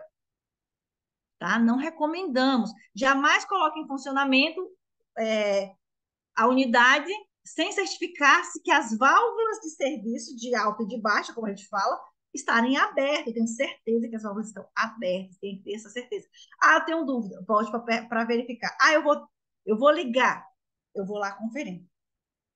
Né? Então, sempre tem essa atenção. Não, a não observância das recomendações acima pode causar dano potencial ao produto, à instalação e à, e à integridade física das pessoas que estejam ali próximo. Então, se você negligenciar recolher, fluido, recolher fluido para dentro da unidade interna, externa, ou botar para funcionar sem as válvulas estarem abertas, você pode né, trazer danos para você, danos para você e para quem estiver ali perto. O equipamento é o de menos, cuide da sua saúde, da sua vida, né? Principalmente. E recolhedora, se tiver que recolher o, fluido, use recolhedora de fluido. Ah, mas é... não, sempre que a gente precisou ter recolhedora de fluido e não é qualquer cilindro para recolher, viu, gente? Tem que ser normatizado, tem que estar dentro das normas, do padrão. E uma coisa, deixa eu ver se vai ter mais para frente. Não, falar aqui logo. Ah, por exemplo, ah, mas agora ele é um blend, eu posso. Agora ele é um gás que não é blend, eu posso completar? Não. Você vai colocar por. Mas até o 410, é, eu tenho que recolher o que sobrou. Olha só como isso é sério, não é coisa nova. Por que, que eu não posso completar se é o mesmo gás, não mistura? Se eu completar, eu vou fazer a mesma coisa de colocar fluido pela pressão. Eu não sei quanto vazou. Eu não vou ter, como, como o José falou, é um inverter, eu não vou ter parâmetro de pressão exato para dizer se quanto que vai ficar com aquela minha complementação de fluido. Então, o que, que é recomendado fazer em perda de fluido, mesmo que é com R32? Não tem problema com desproporcionalidade, mas sim com a massa, meu comprometimento em saber que a massa está correta dentro da máquina. Eu vou recolher o que tem, peso nesse cilindro quanto recolheu, e aí eu coloco a carga de novo. Posso usar o mesmo fluido, mas aí eu vou colocar, saber quanto que tinha lá dentro, recolhi, coloco de novo, complemento com a quantidade para alcançar a massa estabelecida pelo equipamento. Então, não é, não é o complementar tem essa observação, vazou quanto? Né? Quanto ainda tem? Para me complementar com quanto? Entendeu? Porque senão você vai jogar tempo e dinheiro fora. Ah, vou completar. Hoje ficou beleza na pressão que eu entendi que tá legal, mas e amanhã o cliente não está climatizando? Claro, pressão não é parâmetro de, de rendimento. Beleza? Ah, tem muita coisa? Não, nem tem muito mais. Ah, os manuais já têm muitas observações para você, chama muita atenção em muitos critérios, muitas coisas. Por exemplo, igual eu falei assim, talvez tenha, não todo mundo, tenho certeza. Muita gente aqui já leu, não, é, leu o manual, muita gente, o manual da 410, e já se deparou com algumas informações desse tipo. Não pode recolher para condensadora. Não é surpresa. Mas quem não leu, né, eu peço que faça isso de novo. Então, ela te alerta para várias condições de riscos de explosão. Aqui, ó. R32, risco de explosão, risco de explosão. Então, não é, ninguém está vendido, ninguém está enganado. É uma máquina R32, você, sem ver essas placas, você já sabe que é um. Se fosse 410, você ter que ter atenção, mas se for R32, você vai ter que ter mais atenção né? Então, tem todas essas advertências aí para você. Agora nós vamos fazer uma né, José, Se tu puder voltar um slide, né, reforçando, uh, ali a gente tem dois exemplos, né, a etiqueta do R32 e a etiqueta do 410, né, essa da direita é a etiqueta do 410. Então, sempre foi um sempre foi um ponto de atenção essas questões muito voltadas ao a, não é não a, nem a não recomendação, a, a, a proibição, enfim, a, a, a, não autorização de fazer recolhimento do produto, né? Acho que sempre é importante frisar, né? Já posso voltar, João? José? Pode. Seguindo, mas pode parar quanto quiser, hein, gente? Ah, processo de brasagem, agora você vai fazer manutenção. Precisa fazer uma brasagem, o sistema com R32. E agora? Como é que faz? Não vai brasar? Vai usar conexão? Vai brasar. Você vai fazer o procedimento de brasagem com todas as boas práticas que você conhece, que são muitas, né? Se você anda conosco, você sabe de muita coisa, de boas práticas, sabe como melhorar o seu processo. Mas o, o passo é o seguinte: primeiro, recolhedora. Recolheu o fluido para o cilindro. Da condensadora, ah, vou trocar um compressor. Vou recolher esse fluido para o cilindro, o fluido para o cilindro. E depois vou passar nitrogênio e depois vou proceder com a abrasagem. Essa é a forma correta de você fazer a abrasagem num sistema com R32. Recolher para o cilindro, Lembrando que, ah, mas ele é um fluido de, de baixo impacto ambiental, não precisa recolher. Claro que precisa. Se for um propano, se for um R290, que é quase nada, você tem que recolher. É dinheiro, né? É dinheiro ali que, tá, que você está jogando fora. E também, de certa forma, traz impacto ambiental também. Por menor que seja o impacto, ele deve ser recolhido. Por esse aspecto. E aí você vai recolher, não, não falamos de forma alguma que devemos jogar o fluido embora para fazer uma nova carga, isso nunca. Nunca você vai ouvir eu falar isso. E depois passar nitrogênio procede com brasagem normal, que você já conhece. Se vai brasar ali cobre com cobre, usa vareta foscope, porque já tem fósforo, não precisa de, de não precisa de fluxo, né? Porque o, próximo, o próprio fósforo faz a esfoliação. Ah, mas é um, a solda de um compressor, vou usar ali uma vareta de prata, isso aqui já é um treinamento, já é boas práticas avançado. Mas esse, esse aqui são os, os parâmetros, de, ah, os passos de segurança para executar a brasagem no sistema de R32. Ah, manutenção com brasagem, igual a gente estava falando, volta a pressurizar normalmente, igual você fez o primeiro passo, para não ficar nenhuma possibilidade de vazamento. Desidratação, 250 e 500 micros devem ficar negativamente. Utilize vacômetro, igual você usou na instalação, como eu mostrei lá antes. Tem que dar estanque ali dentro dos. No máximo, não pode ultrapassar 700 microns, estabilizado dentro de uma hora, duas, três horas, não pode passar de 700. E a carga de fluido, como a gente já conversou, pela massa, e exatamente o que pede o fabricante, nem a mais nem a menos.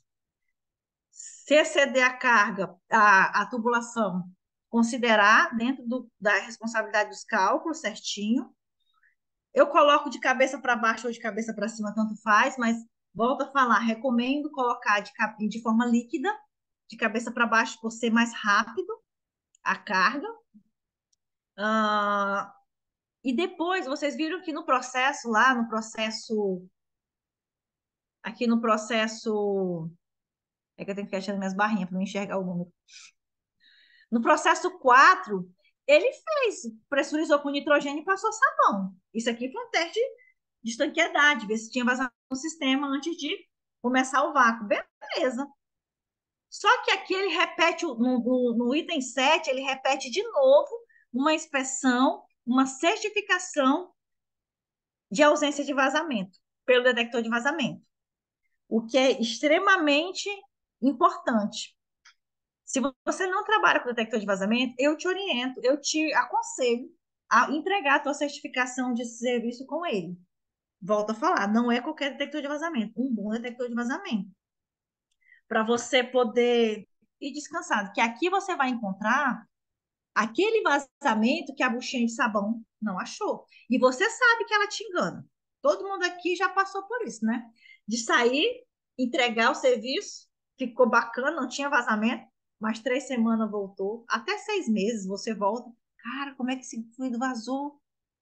Só que a gente esqueceu, né? E ele, ele acaba pagando outra carga.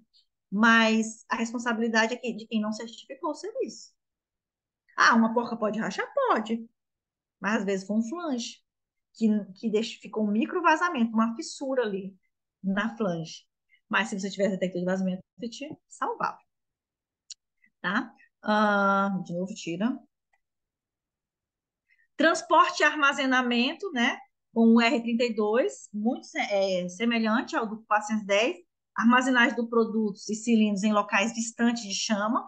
Armazenar produtos e cilindros em locais sempre ventilados. Não transportar produtos e cilindros em veículos fechados. Eu nunca vi ninguém deixar no carro, pegando insolação. Nunca vi isso. Nunca vi. Sempre fica em carros abertos, ventilados, não fica exposto ao sol, né, gente? É assim. E aí, como, é, como o Serginho. Ah, tá. Quando a gente falou de recolhimento. Ah, falei.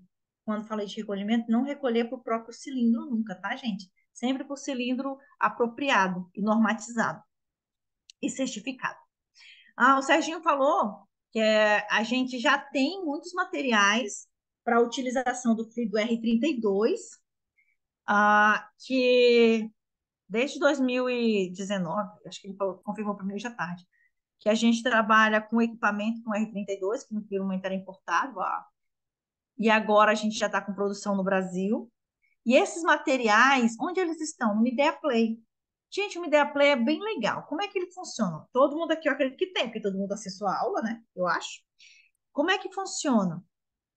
Ele, você vai você vai lá, eu quero saber como que testa uma válvula de expansão da máquina tal. Aí você vai lá, ele te dá um videozinho de dois minutos para daquele teste. Então, são pequenas aulas, micro aulas, gente, nem minha, é micro, bem pequenininha, bem específicos tópicos. Então, por isso que é muito legal os vídeos da, do Media Play, que ele é bem dividido, muito rápido, porque quando tu vem me perguntar uns negócios, quem me conhece sabe. Eu falo bem assim, tu já leu o manual? O manual tem 80 páginas, né? Ah, uma ideia play trata melhor, que tu fala assim, eu quero trocar a válvula de expansão, então lá o vídeo só da válvula de expansão. Eu quero testar um sensor, tá lá só. Eu quero colocar a carga de gás. Tem esse vídeo aqui do recolhimento que a gente fez no seminário, tá lá, bem pequenininho. Como é que eu recolho fluido? Tá lá. Então a gente já tem um bom material, isso não foi feito de ontem para hoje, isso a gente já tem trabalhado com eles é, desde 2019, eu acredito. Já com a, com a com o lançamento da Steel, né? Que já foi com a R32. Então tá lá. Quem não conhece o Media Play, ou quem conhece nunca procurou saber, pode ir lá. A gente tem os. Tudo que eu tô falando aqui já tá lá. A gente trouxe mais informação, complementamos coisas de manutenção e tal, mas o princípio tá lá. O princípio não mudou. O princípio não muda, né, gente? E aí eu queria, acho que eu vou passar um vídeo. Ah, não, peraí. Agora eu queria compartilhar com vocês um vídeo Deixa eu só cair com a, com a apresentação. E aí eu vou selecionar. Acho que ele já está até aqui. Só não sei se ele está selecionado. Aqui, o som. Deixa eu ver aqui no avançado logo para ver. Tava não.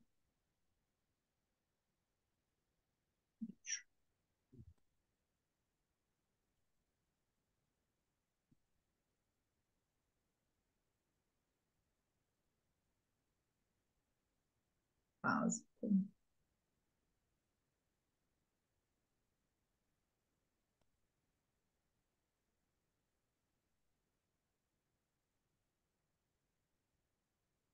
Confirma se vocês estão ouvindo. Sim, Josi. Fechou.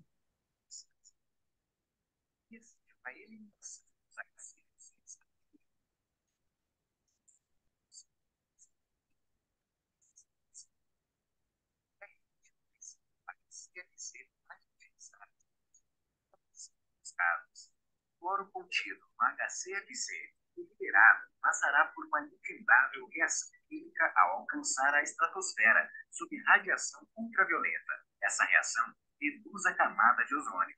Uma troca para HFCs como R410A não agridem a camada está ocorrendo em vários países. No entanto, como HFCs são gases que provocam um efeito estufa, GHG, contribuindo ao aquecimento global são alvos de esforços de redução de emissões na maioria dos países desenvolvidos, de acordo com o Protocolo de Kyoto. Os gases que provocam o efeito estufa na atmosfera equivalem a uma capa transparente sobre o planeta, evitando a fuga de calor, que leva a um aumento da temperatura média do planeta e um desastroso aumento do nível do mar. Como alternativa ao HCFC-22, países em desenvolvimento, sendo um refrigerante com menor potencial de aquecimento global, GWP, em países desenvolvidos, chega ao mercado o R32. R32 é difluorometano, cuja molécula tem um átomo de carbono, dois de hidrogênio e dois de flúor. Ele não reduz a camada de ozônio devido à ausência de cloro, e seu GWP é um terço em relação ao R410A, que o torna menos agressivo ao meio ambiente sua pressão é um pouco maior que a do R410A. O único inconveniente é que R32 é levemente inflamável, mas somente entra em ignição com uma chama aberta e para de queimar com a remoção da chama, devido ao limite inferior de inflamabilidade, LFL, de 13,3% e superior a HFL de 29,3%, que é muito maior que gases inflamáveis comuns como propano, cujos LFL e HFL são 2,1% e 9,5%, e sua velocidade de queima é 6,7 cm por segundo, bem mais lenta, 46,4 cm segundo do propano. Além disso, esses experimentos demonstram que o R32 nunca entrará em ignição por uma faísca de componente elétrico peças de alta tensão condicionador de ar em situações normais do dia a dia. Então, de modo geral, o R32 é um gás relativamente seguro se manejado corretamente, identificando um produto com R32. Tem duas etiquetas de aviso na embalagem, uma de risco de incêndio e outra indicando a leitura do manual. As etiquetas de aviso estão tanto no ponto da unidade interna como da externa. Existe etiqueta a etiqueta de classificação dos aparelhos internos e externos. Preparação. Antes de instalar, meça a área do recinto. Verifique que não é menor do que a área mínima para a instalação. Prepare as ferramentas para a instalação, detector específico de vazamento, bomba de vácuo, bomba antiestática, extintor, etc. O cilindro de R32 deve ser armazenado em local de temperatura amena, com boa ventilação e com uma proibido produzir chama. Os técnicos encarregados da instalação e manutenção devem adotar medidas antiestáticas e usar, se possível, roupa 100% de algodão. Ponto de atenção sobre instalação e local de manutenção. Tenha sempre ventilação forçada para assegurar a renovação do ar e extração do R32 do recinto para evitar acúmulo e evitar que a concentração ultrapasse o limite mínimo de concentração LFL. Nunca deve haver uma chama aberta dentro de 2 metros. Nunca deve haver uma fonte de calor ou chama aquecedor de 2 metros. Nunca celulares dentro de 2 metros da unidade. Não deve haver tomada ou eletrodoméstico abaixo da unidade interna a tomada de energia deve ser afixada na lateral ou acima do aparelho. Coloque a sonda do detector de vazamentos dentro da embalagem do aparelho externo, para ter certeza que não há vazamentos antes de desempacotar. Uma bomba de vácuo deve ser usada para desidratar o sistema. Carga adicional de refrigerante deve ser realizada somente no comprimento do tubo adicional de carga. Use um detector específico de vazamentos ou água com sabão para verificar vazamentos após abrir as válvulas de serviço da unidade condensadora. Se for necessária manutenção, utilize solda com chama. Esta deve ser feita num ambiente externo, com boa ventilação. Retire todo o R32 das unidades com uma unidade recolhedora. Limpe o sistema com nitrogênio realize o processo de vácuo, limpe o sistema de novo com nitrogênio, comece o trabalho com chama. Carregue novamente o R32 do aparelho exatamente na quantidade mostrada na etiqueta externa, após a manutenção.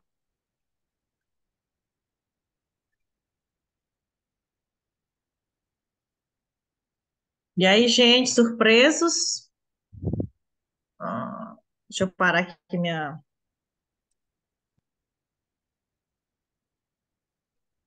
eu suspender a minha apresentação. Enquanto tu para aí, Jô, só vou reforçar que tá, esse parei, videozinho, parei. é, esse videozinho, é, talvez por causa aqui da, da conexão de internet, ficou meio cortado e tudo mais. Mas, é, como mostrou no último slide ali, a gente tem é, esse material lá dentro do Mideia Play. Então, quem não tiver o, o aplicativo, se cadastre, entre lá e dentro do, da videoaula, tem uma videoaula que é do, uh, do Aristil com R32. Esse vídeo está lá, tá? Então aí vocês podem assistir melhor, né? Já que a gente não conseguiu reproduzir aqui, talvez pela questão da, da conectividade aí. É, então. Não passou, não, Serginho?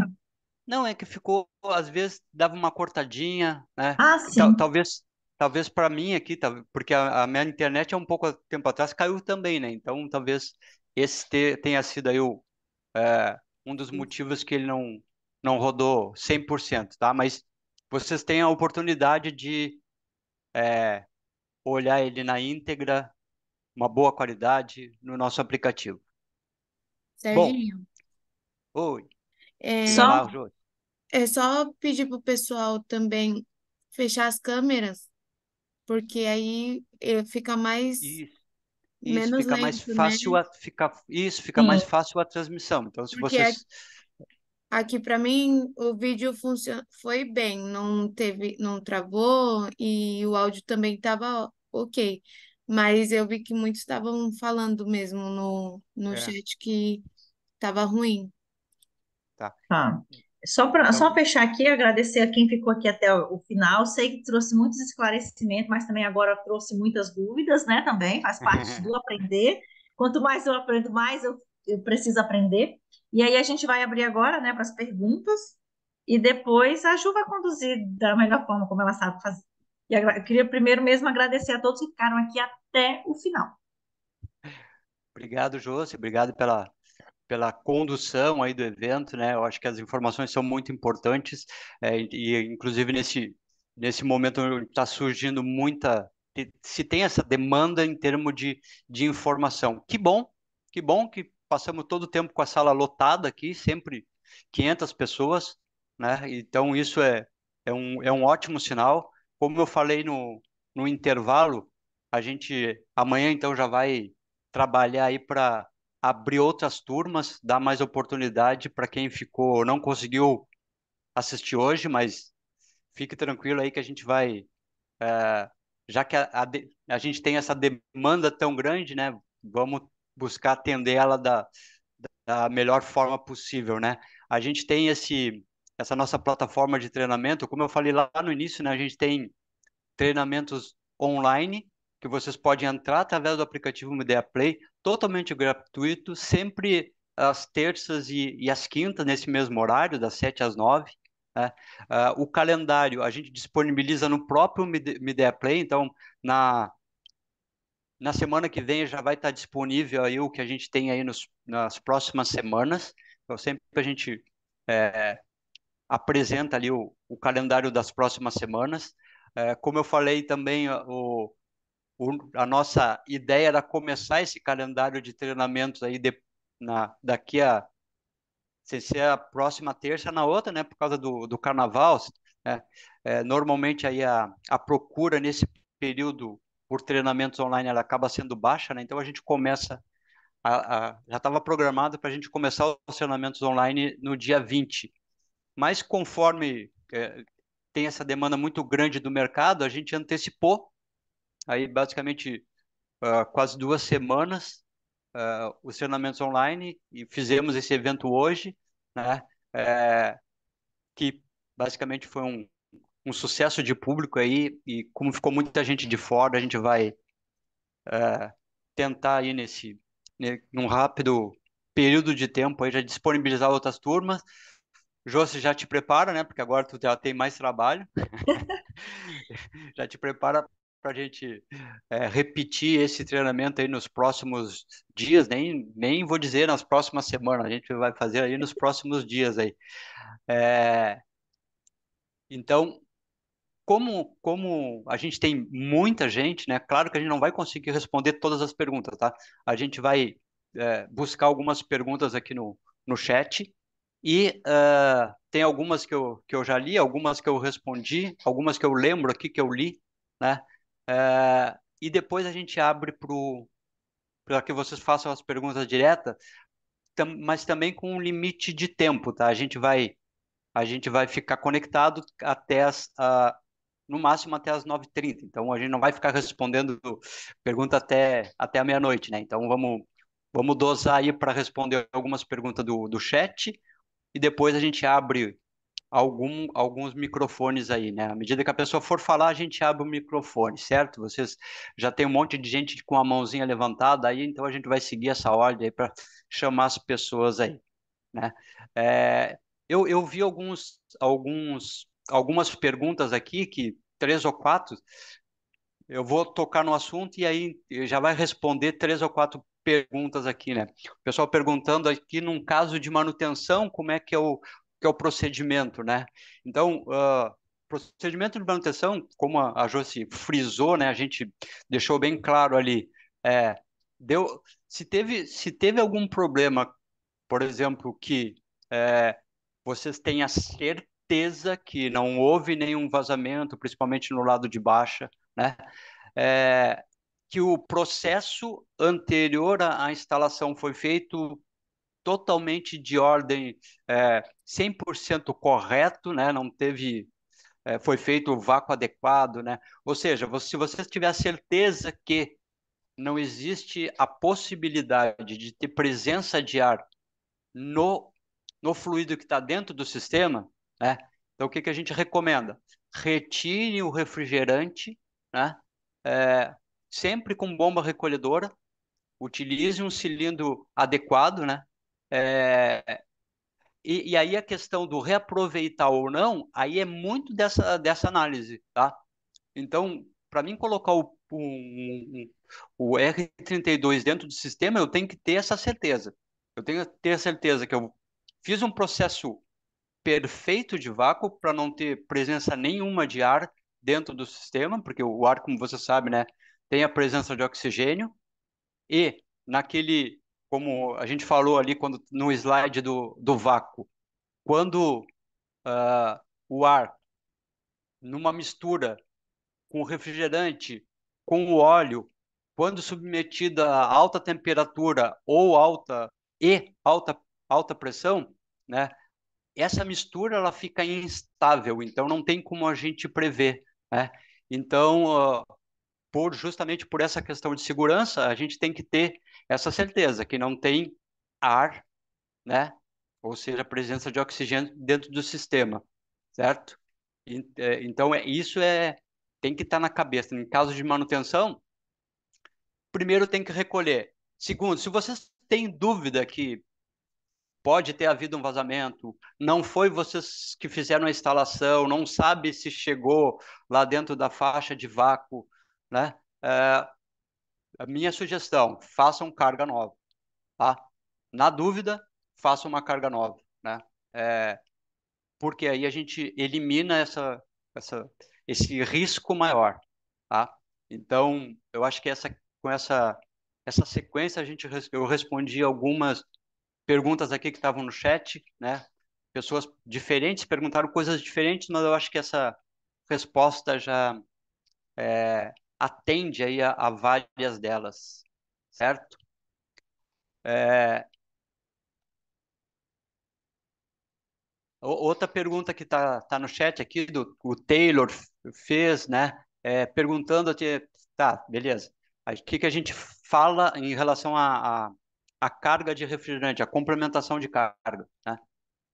Então, é, a gente informa ali que o, o equipamento vem com carga para uma instalação de até 5 metros de, de linha, né? Uh, o, o, José já reforçou isso, né? que mudou, como mudou aí em 22, mudou a, a legislação. Hoje a gente está atendendo uma outra norma aí para teste de é, para medição de eficiência, né? Então, hoje a exigência do nosso mercado, né, é, é essa, né? Uma carga para até 5 metros de linha. Então, vocês podem ver que é, em alguns casos vocês vão ouvir 7 metros e meio, mas aí assim, ó, era, é era o que era antes, tá? Até 2022, a norma de, né, é, a gente testava com linhas de até 7 de 7 metros e meio. Né? Então, todos os cálculos que se fazia era baseado nessa, nessa informação. Agora não, agora é 5 metros. É, então, a máquina vai vir com carga, né, independente daqueles modelos que a gente mostrou lá no segundo slide, né, independente do modelo ali, a carga vai vir, uh, ele vai vir com, a condensadora vai vir com carga de até 5 metros, 5 metros. Então, o que, que acontece? Quando uh, o comprimento da tubulação for exceder a isso, né? Mostramos lá na a formulinha, né? Uh, a gente tem que adicionar carga. E adicionar carga é, indica que a primeira coisa a gente tem que calcular quanto vai precisar de carga e depois seguir o processo na, na seguinte ordem, né? A gente faz vácuo, linha e evaporador, né? Certeza de o vácuo tá, tá correto, a gente usando uma balança eletrônica e sabe ter, depois de ter calculado a, a quantidade em gramas de fluido, a gente deixa entrar no, o fluido até é, atingir essa carga, tá? Então, respondendo ao Taylor aqui, quantas gramas geralmente vai na máquina, né? É, isso, essa é uma, uma, informação que vai ter é, específica por produto, tá? Não tem como a gente dizer de forma genérica aqui, porque de acordo com a capacidade, o modelo da máquina, essa quantidade vai vai vai mudar, mesmo que seja na mesma capacidade, modelos diferentes pode mudar, tá? Então, é, e a gente também não vai saber de cabeça, né, Josi? Todos os valores. Então, por isso, essa informação ela tem na literatura, essa informação tem na etiqueta da, da máquina, né? é, então tem que seguir esses passos, né? Então, no, já, já ouvi gente dizendo, ah, não, mas uh, diz que vem com carga completa. Não é, não é essa frase, tá? Porque se a gente tiver uma, uma instalação com 10 metros de linha, a carga vai ser insuficiente, tá? A gente vai ter que adicionar carga, tá? E, e seguir o procedimento correto ali. Então, acho que com isso aí respondi mais algumas perguntinhas aqui. Ô Serginho, aproveitar o gancho. Diga lá, eu tô, tô, tô acompanhando aqui as dúvidas do pessoal, tá? Uhum. Principalmente em relação a recolhimento, tá? O pessoal, ah, se a carga, se eu tô com a carga original, preciso usar a bomba recolhedora. Acho que é, é realmente aqui o bom senso, né? Uh, vamos lá, nem quando a gente mesmo faz o, a instalação, a gente tem, pode ter a, a confiança completa de que não entrou ar.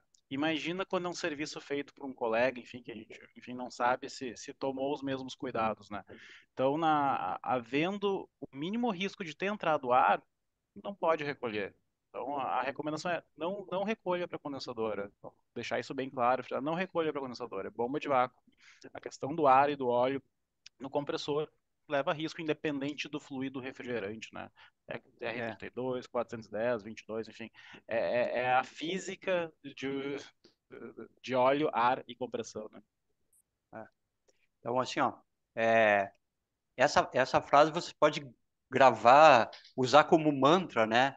Não devo recolher com a condensadora, não devo recolher pela, com a condensadora. Então, isso tem que ficar bem, bem claro aí, né? Ah, mas antes de, mas eu sempre fiz e deu certo. Pois é, meu amigo. Então, assim, a gente está explicando que por questões de segurança é, existe risco, então o mais adequado é não fazer. Independente do fluido, né? Acho que isso é importante. Independente do fluido, tá? A gente já fala isso lá há mais de 10 anos, tá? essa, essa mesma, isso vocês podem olhar lá nos nossos manuais, está escrito, né? A gente recortou aqui no slide, a gente recortou aqui o, o que está escrito no manual, então é, não, não deveria ser novidade para ninguém, tá?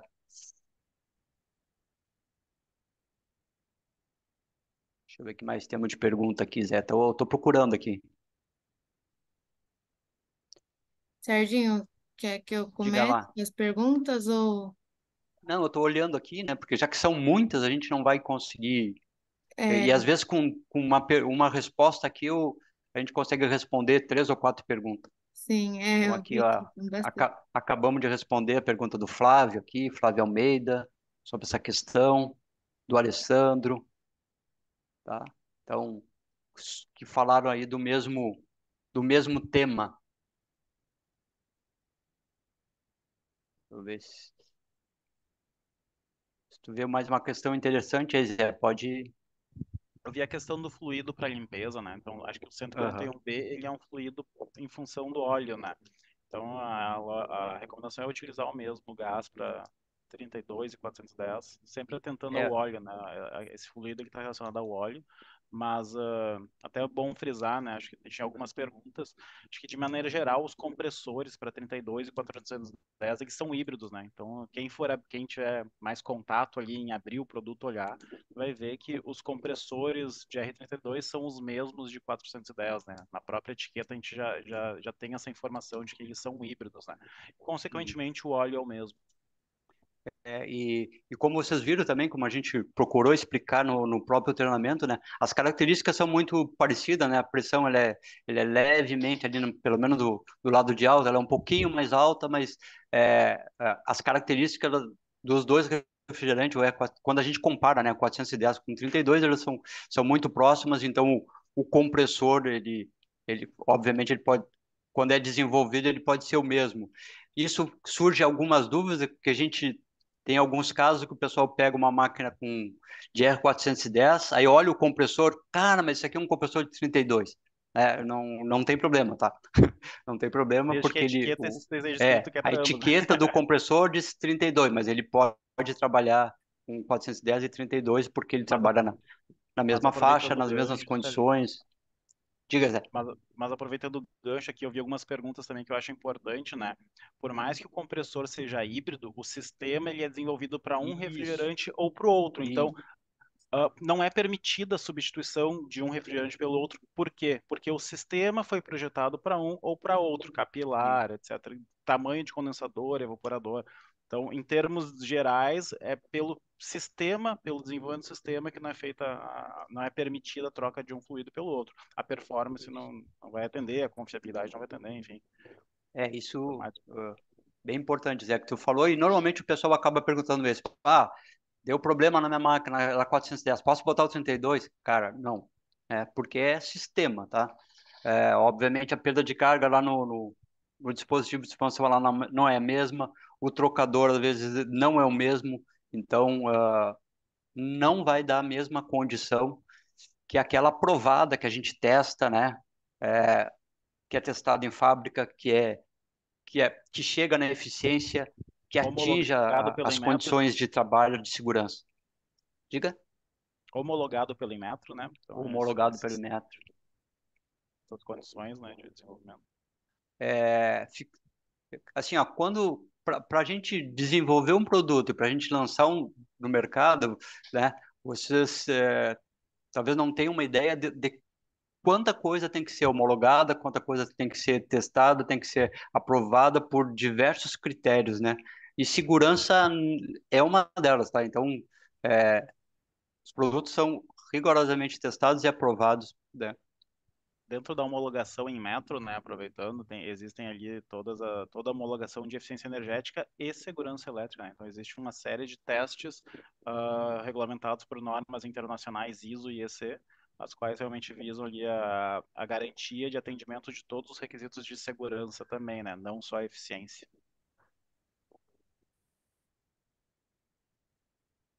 Ok. Eu acho que agora a gente já pode, vamos deixar uma, uma meia hora para responder perguntas, né? Pode é, podemos... abrir, Serginho?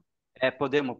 Vai chamando um de cada vez aí, e aí a gente vai, a gente vai respondendo aqui. A gente não pode abrir todos os microfones, senão não, não tem como, tá? Tá bom, Serginho. Eu vou abrir o do João Paulo, que ele é o primeiro que okay. levantou a mão. Da, da, fila, já tá com cãibra no braço aí de tanto é, tempo que tá com a mão levantada, né?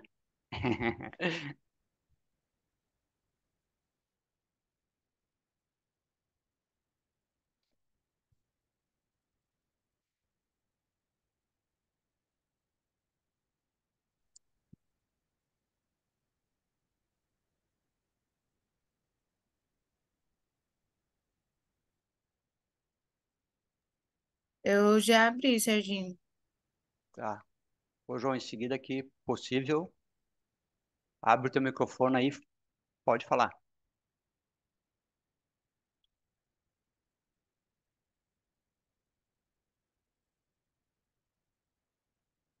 João Paulo, clica ali no teu microfone e pode falar.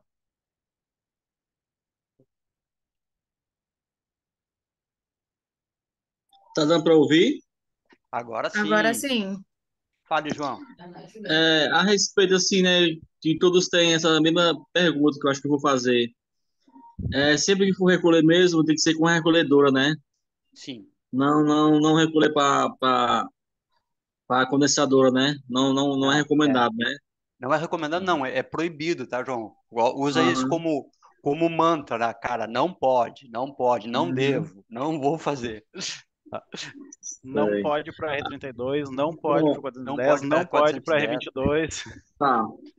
No caso, é, essas máquinas a partir de agora, de 2024, de, a partir de piso teto de 36 mil, ela já vem com esse gás, esse gás de R32?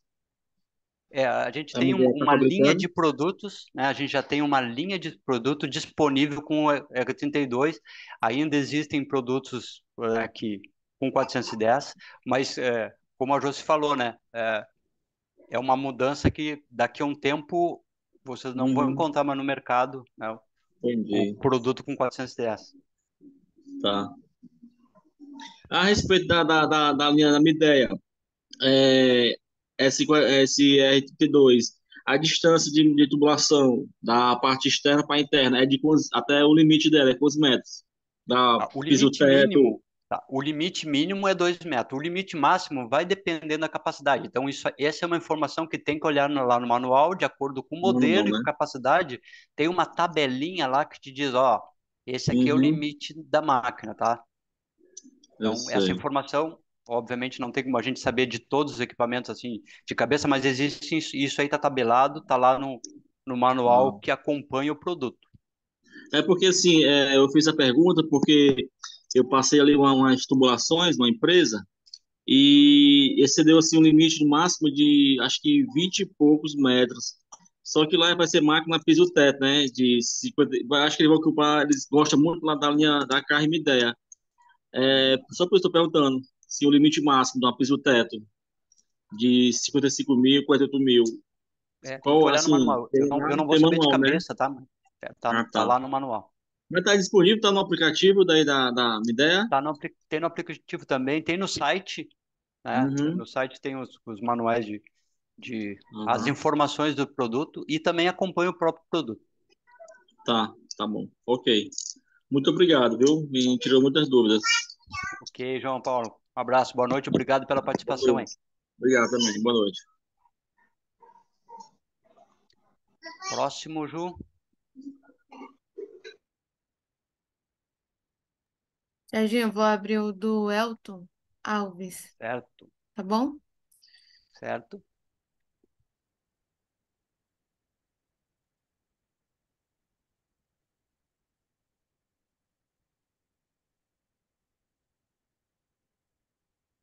Elton. Oi, boa noite, estão me ouvindo? Boa noite, Elton, estou te ouvindo. A minha dúvida é em questão de segurança. Independente do fabricante, nós sabemos que ao longo do tempo a serpentina do evaporador ou do condensador acabam abrindo fissuras. Isso não é perigoso pelo fato do equipamento estar trabalhando e correr o risco de entrar oxigênio na linha? Entrar oxigênio dentro da linha. É, é tem a, a, a máquina ela tem proteções, o Zé, o Zé pode me ajudar aí, tá mais específico, né? Mas a, a máquina tem proteções que à medida que, por exemplo, perde refrigerante, perde eficiência e a máquina ela vai alarmar, tá? Ela vai dar, vai dar um alarme, vai parar de funcionar e vai dar um alarme. Né? É, obviamente que aí cabe ao, a quem for atender, né? É, não burlar esse alarme e é, não botar a máquina funcionando se tem essa possibilidade de ter entrado ar no sistema. Correto, Zé? Complementando, exato. Me ajuda então, aí. Havendo ali uh, realmente o, o, início do um, um vazamento, enfim, uh, pelas temperaturas, enfim, que o produto monitora. Então, o produto ele tem ali a inteligência de detectar que as temperaturas estão baixando e interpretar que houve um vazamento. Então, ele alarma um erro. E daí sempre reforçando, havendo esses erros, havendo indício de vazamento, é recolher uh, por uma bomba recolhedora, identificar o vazamento, uh, fazer o gerenciamento e depois, uh, depois a, a, carga novamente através de balança, né? Sim, sim. É, a minha questão foi preocupação nisso aí, porque eu já peguei casos do equipamento apresentar fuga, tanto na serpentina do condensador quanto na da evaporadora, e, por exemplo, o sensor ele não, não entrou em funcionamento, né? Para poder cortar o funcionamento do equipamento. Por isso que eu estou perguntando isso.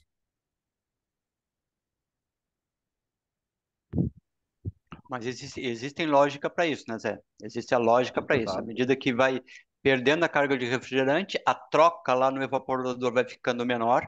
Então, existe um limite que a máquina vai, vai sentir isso e vai entrar em erro. Sim, tudo bem. Tá ok, obrigado. Obrigado, Elton. Boa noite. Boa noite. Próximo, Ju. Serginho, não sei dizer o nome, tá? Como Motorola. ah, o seu. Eu vou abrir o A microfone. pessoa que está com aqui registrado como Motorola G22. É, é, pessoal, ainda dá tempo, tá? Como a gente não tem, encerrou a transmissão para que o, o, registro fique correto. Quem não acertou seu nome aqui, né? É bem fácil de fazer isso, né? É, vai em é, participantes vai ter uma lista de participantes, vocês são sempre os primeiros. Do lado, normalmente eu tenho três pontinhos ou um botão, vocês apertam ali para renomear e aí acertam o nome. Caso não não consigo, você pode colocar no chat aqui o nome de vocês que a que a Ju pode acertar, certo? Porque por exemplo, agora a gente não consegue chamar a pessoa pelo nome, porque ela está com o nome de Motorola. é supone que sí. Boa noite. Donde tú pongas, tú aprender a ver. Y por lo menos, si te encerran ese techo y tienes que apagar y tiene aire aqui, Boa noite. Acho que não, é, não troca. sabe nem que a gente abriu. É. Porque... Então, abri do Josemar. Josemar da Silva, Sérgio. Josemar da Silva.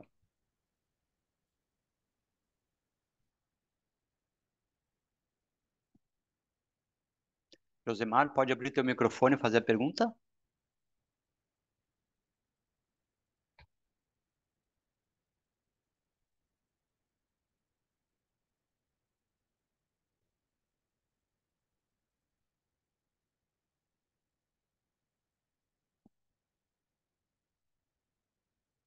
Serginho, vou pro próximo, então. Vai pro próximo, já que O o Josemar. Ah, ó, o Josemar Ah. abriu. Abriu o microfone. Fala, Josemar. Boa noite. Boa noite. Boa Tudo bom? noite. Fala É, de eu onde, Josemar? De Serra Talhada, Pernambuco. Pô, legal. É, existe, de certa forma, uma preocupação, né? Depois de alguns incidentes é, de alguns colegas nessa área usando a- a- o recolhimento para unidade condensadora e acidentes que custaram até vidas, né? Então, isso causou uma certa preocupação, principalmente, eu posso falar aqui, a gente no Nordeste, né? Mas vocês vieram para tirar um pouco dessa dúvida, né, de não recolher na unidade condensadora. E por Isso é né, muito bom. Josemar? E, Sim. e por que, né? Por que, que, É. que não deve? Então, é, exatamente. Então, foi um, um despertar, né? De tirar um pouco o medo de muitos colegas que nesse momento estão assustados, né? Uhum. É, e o que é que eu pergunto é em relação à, minha ideia, né? Se vai realizar novos cursos, certo? Para que desmistifique é, a manutenção e, e o trabalho em relação aos fluidos refrigerantes e equipamentos, porque tiveram alguns colegas mesmo que disseram que não iriam trabalhar com R32 por causa do medo em relação a, a risco de explosão. Então, é, o que vocês fizeram agora foi um, vocês fizeram um trabalho muito bom de desmistificar, tá? E de certa forma ajudar nós refrigeristas, né, do Brasil inteiro, tanto os técnicos como mecânicos da área de refrigeração e climatização.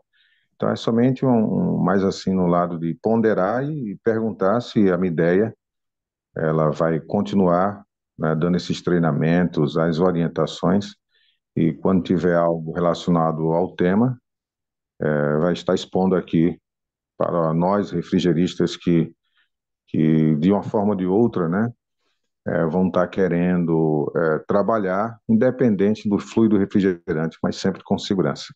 Então, era, era somente essa minha participação. Muito obrigado. Eu, eu que agradeço pela, pela pergunta, pela posição, Josemar. Eu acho que é, é bem importante a gente receber esse, esse feedback. E, e sim, a gente já vem trabalhando, assim, talvez tenha faltado um pouco mais de, de, de acesso à, à informação, né? Porque desde, desde lá do tempo da... Quando houve a pandemia, né? A gente começou a, a um processo de utilizar mais essas ferramentas como o aplicativo, o treinamento online para levar essa informação para a classe refrigerista. E vocês podem ver, é totalmente gratuito, né? Então, é do nosso interesse que os técnicos tenham a informação correta para poder fazer, apresentar um bom, um bom trabalho. Então, quem nos, já, já nos acompanha há algum tempo, né? A, a gente tem um aplicativo, tem, hoje a gente já tem 31 treinamentos diferentes dentro do aplicativo. Esse é um tema que já está disponível lá desde 21. É, durante o ano, a gente faz treinamentos regulares, mostrando, passando basicamente por toda a nossa linha de produtos, é, treinamentos online que vocês podem entrar também de forma gratuita através do, do aplicativo Media Play. Então, essa é a nossa forma de é, contribuir com essa informação do mercado. Né? Então, nos ajudem é, a disseminar essa, essa possibilidade, que tem muita gente que nem não sabe dessa possibilidade, que a, a, a Mideia está tá de portas abertas nessa questão de treinamentos. Uh, além dos, desses que a gente falou de dos treinamentos uh, gratuitos, tanto no, no aplicativo quanto os treinamentos online que ocorrem ao longo do ano, a gente também vem trabalhando forte aí em montar centros de treinamentos em todo o país. Então, hoje a gente está com 10 centros de treinamentos, né? um inclusive em Recife, aí perto, mais perto de ti, aí, aí Josamar, é, onde a gente procura também fazer treinamentos com a, com a prática. Claro que esses aí, eles são dedicados para os técnicos que fazem parte da nossa rede credenciada. É, a gente tem uma parceria forte com os revendedores para é, apoiar nessas questões de palestras sobre os nossos produtos. Então, tem sido feito muitas ações nessa questão de, de treinamento, tá? Então, uh, obrigado pela pergunta e, e divulguem essa, essas possibilidades, certo? Tá ok. Muito obrigado aí pelo, pelas orientações. Obrigado. Boa noite aí, Josamar. Um abraço. Um abraço. Próximo. Vou abrir o do Wellington Costa, Serginho. Certo.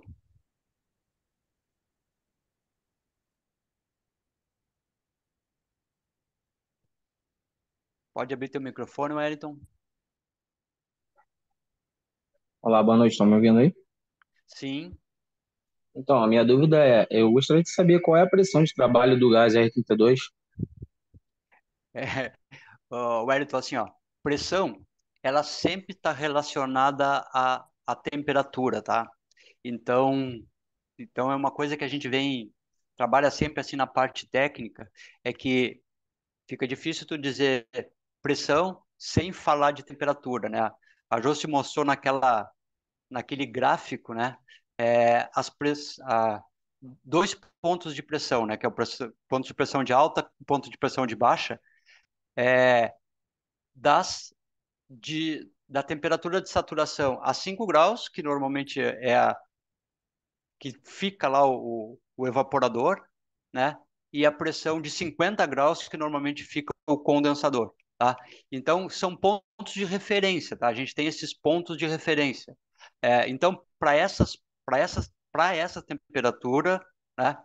É, a gente tem pressão ali do o, tanto 410 como o 32 na baixa por volta de 120 a 123 PSI e na no lado de alta ali por volta de 400 e 420 430 PSI, tá? Mas sempre sempre levando em consideração que isso depende da temperatura. O refrigerante não vai estar tá exatamente sempre na mesma pressão. O sistema hoje, com os sistemas que a gente tem, né, com a, a inteligência que tem nos sistemas, eles vão procurar manter as pressões dentro dessa faixa. Né? Hoje em dia a gente tem lá o, compressor, inverter, a gente tem válvula de expansão eletrônica. Então tudo isso faz com que a gente busque manter as pressões o mais próximo possível desses dois pontos. Né? Mas, por exemplo, a pressão do lado de do, do lado de alta, né? Ela, é, ela vai estar tá muito em função da temperatura externa, tá? Então, isso pode fazer variar em relação a esses valores que eu te falei. Então, por isso que a gente sempre bateu na questão dos treinamentos, que assim, ó, carga a gente tem que fazer por massa, pesando o refrigerante na, na antes de colocar no sistema. É, se, se a gente for se basear por pressão, né, existe a margem de erro porque ela depende da temperatura, tanto do ambiente interno quanto do ambiente externo. Então, por isso que é importante a gente ter essa, esse conceito na cabeça. Certo, Wellington?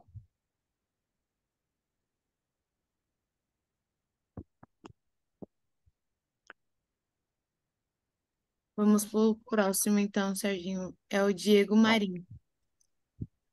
Ok.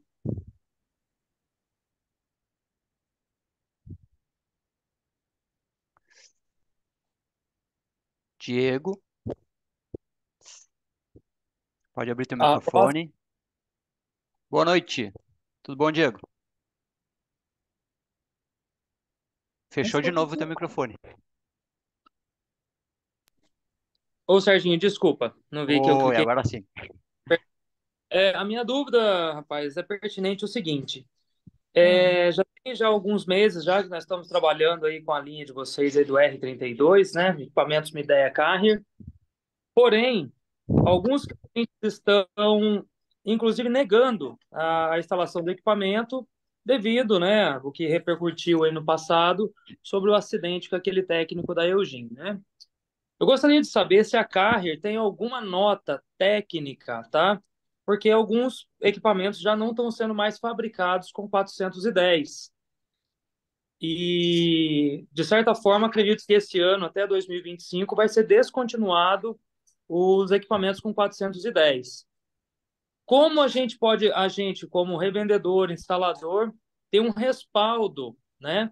Inclusive até um respaldo jurídico, caso um, um cliente, né? Aí um cliente grande que nós fornecemos bastante equipamentos, venha a negar, alegando a questão de segurança, mesmo sabendo que o equipamento foi inspecionado pelo Inmetro, existe uma portaria do governo federal autorizando a comercialização desses equipamentos.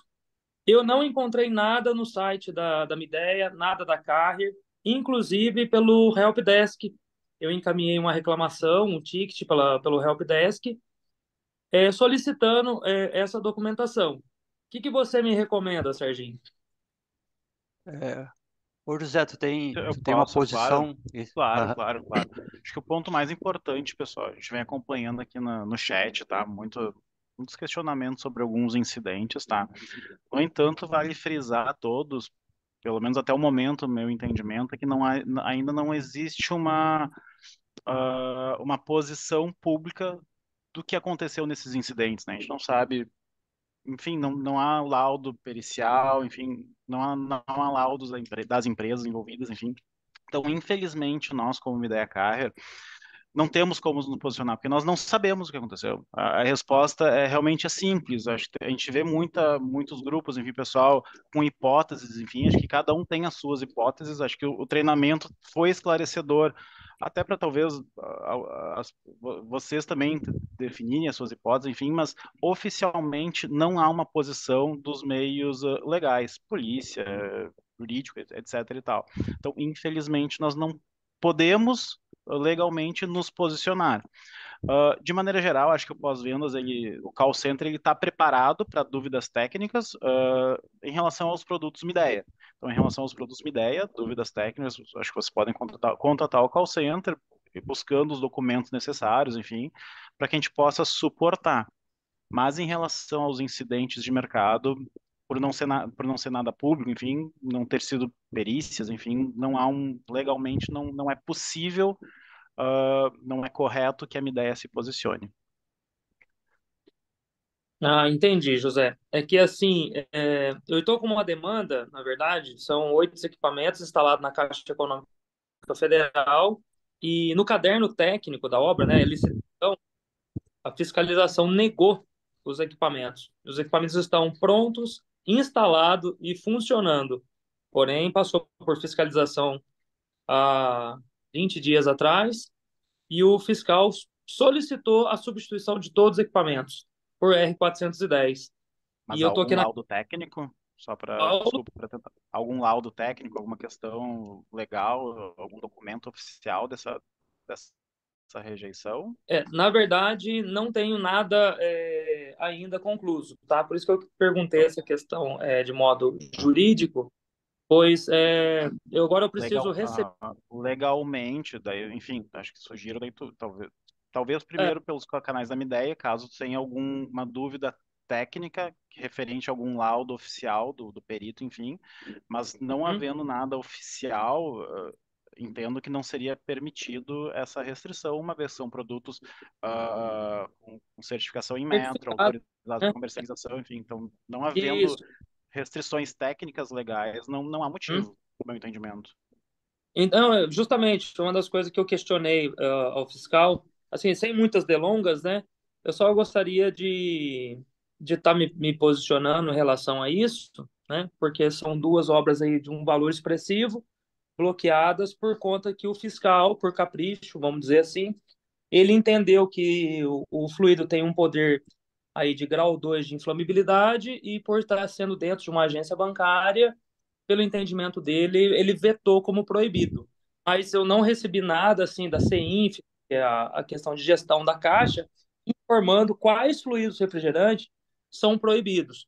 Somente é, existe uma nota dentro dos projetos, tudo que não é mais permitido equipamentos com R22, tá? Então, lá tem uma nota dizendo equipamentos R410 ou equivalente, que a gente acha que é como substituto, né? O R32 ele é substituto do 410 hoje em dia. É. Mas Agradeço, viu, José? Muito obrigado por estar abrindo o canal. Eu esperei bastante aí por esse momento, né? Vocês estão de parabéns aí pelo treinamento, conteúdo. É, estou assim muito satisfeito com o que a minha ideia, a Carrier tem apresentado. O aplicativo trabalha de forma muito intuitiva, muito bom. Vocês estão todos de parabéns ao time. Muito obrigado, viu? Obrigado, Diego. A gente que, que agradece aí o, o feedback, né? E continue conosco. Né? A gente vai sempre procurar trazer o que tem de, de mais de, de melhor, de mais moderno, né? E informação, né? Aqui o nosso foco é trazer informação, informação é, técnica de forma correta. Valeu, Perfeito. um abraço aí. Muito obrigado, um abraço a todos aí. Obrigado Continua pelo, pelo feedback, Diego. Parabéns aí pela, Obrigada, Diego. em aprendizado, né? Isso. Muito obrigado, pessoal. Um abraço. Valeu, um abraço. Boa noite. Bom. Próximo, Ju. Já estamos chegando no, no limite. É, Serginho, de, mas tempo, tem tá? Gente pode responder mais uma, três perguntas. É. Eu tem muitas mãozinhas. Vendo, são, muito, são muitos mesmo. Ainda temos 319, né, presentes. E o próximo é o Reginaldo, de Assis acredito. Eu já abri o microfone dele. Pode, Pode falar, Reginaldo. Abre, abre o seu microfone, pode falar. Serginho, boa noite, tudo bem? Boa noite, como é que tá? Joia. É, como sempre, o aprendizado a cada dia, né? Me ressaltou aí um comentário que a professora fez aí da bomba de vácuo. É, quando foi feito o comentário da bomba 12 CFM, no meu entendimento, entende-se que a, a, a bomba seria muito grande ou não? Ou existe algo específico, por exemplo, o R-32, que deverá ser uma bomba de vácuo de tanto CFM?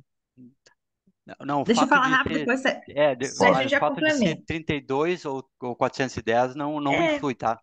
quando eu falei da de 12 em relação, vai, é, o que eu falei foi que a gente tem que fazer uma um ajuste entre tamanho de sistema em relação a tamanho da bomba. Eu não posso colocar uma bomba muito grande num sistema tão pequeno, que ao invés de me ajudar, ela vai me atrapalhar. Mas isso difere a sistema de R22, de Chile, qualquer sistema a gente tem que ter essa proporcionalidade de tamanho de sistema em relação ao tamanho da bomba, a capacidade da bomba. Não é porque ela é maior que ela é mais rápida. Né? Essa é a proporção. Mas a pergunta é o seguinte: vamos imaginar uma linha Raval e uma linha piso-teto. Eu não poderia usar a mesma bomba? Aí deveria, uma linha Raval deveria ser uma bomba menor, então? Uma de 7 CFM ou algo assim? Vai demandar o tamanho da tua linha, não é se tratando também de, de raio alto ou piso e teto. Ah, Vai entendi. depender do teu sistema. Entendi. Quer falar, Serginho? Não, só, só complementar assim, que quando a gente pega ali o, o, a, a, a capacidade, né, a característica da bomba, né, a gente vai ver esse, esse 12, esse 7 é CFM. CFM, CFM é uma unidade de vazão, né, que é, é pé cúbico por minuto. Então, é, aquele volume interno, a gente vai fazer sa sair através da bomba, né, por, por unidade de tempo, né? Então, o que a Josi falou lá que, que existe um, um risco é quando a gente tem uma velocidade muito alta, né? E isso sim pode ser, pode ser um risco. Então, essa desproporcionalidade né, entre, a, entre a bomba e o, e o tamanho do sistema, é, pode ocorrer isso. Mas é, uma, uma bomba de 12 CFM, tu vai fa conseguir fazer trabalhos de tanto de highwall como como de light commercial, tá? Pode ficar ficar tranquilo. É, se for se tu pegar um, um rack, sim, aí já vai ficar a bomba muito grande para o tamanho, para o volume interno do sistema, tá? Entendi. Não tem necessidade, na verdade. É, não tem necessidade. Respondido, Reginaldo? Atento, atentando também, tá? Até quando a gente faz o recolhimento, enfim, eh, de um sistema que com o compressor ali, com a condensadora inclusa, sempre o cuidado para não recolher o óleo junto, né? Isso é importante É. frisar também. né? É. A importância de não, não retirar o óleo, se retirar somente o ar, né? Tá certo. Ok. Obrigado. Um abraço, Reginaldo. Dá Falou, tempo de obrigado. responder mais uma? Vamos responder mais uma? Acho que dá, né? Serginho, Uns três vou minutos aí. abrir do Fábio Manuel. Ok. Fabiano, Fabiano, né? Fabiano, isso. Fabiano, pode abrir teu microfone. É, boa noite, primeiramente, né? Estão me ouvindo? Boa noite, estamos ouvindo, Fabiano. É, queria parabenizar aí, né? As informações, para mim é muito válida. E eu queria fazer uma pergunta referente à situação é, sobre a questão mesmo baixa de inflamabilidade desse gás. No caso, né? Eu sei que isso não não está acontecendo ainda, né? Porque é uma máquina que está há pouco tempo lançada. Mas no caso de um compressor queimado, que o compressor ele vem soldado na unidade, né? E a gente Uhum. precisa é, dessoldar ele. Pode acontecer algum risco de explosão? Primeiro que, bom, se, se ele tá, se ele deu problema ali, é, obviamente ele não, ele não vai estar, ele não vai estar gerando pressão alta, tá? Então, é, quando tu, tu vai, for- vai trocar ele, tu vai recolher o refrigerante, vai, né?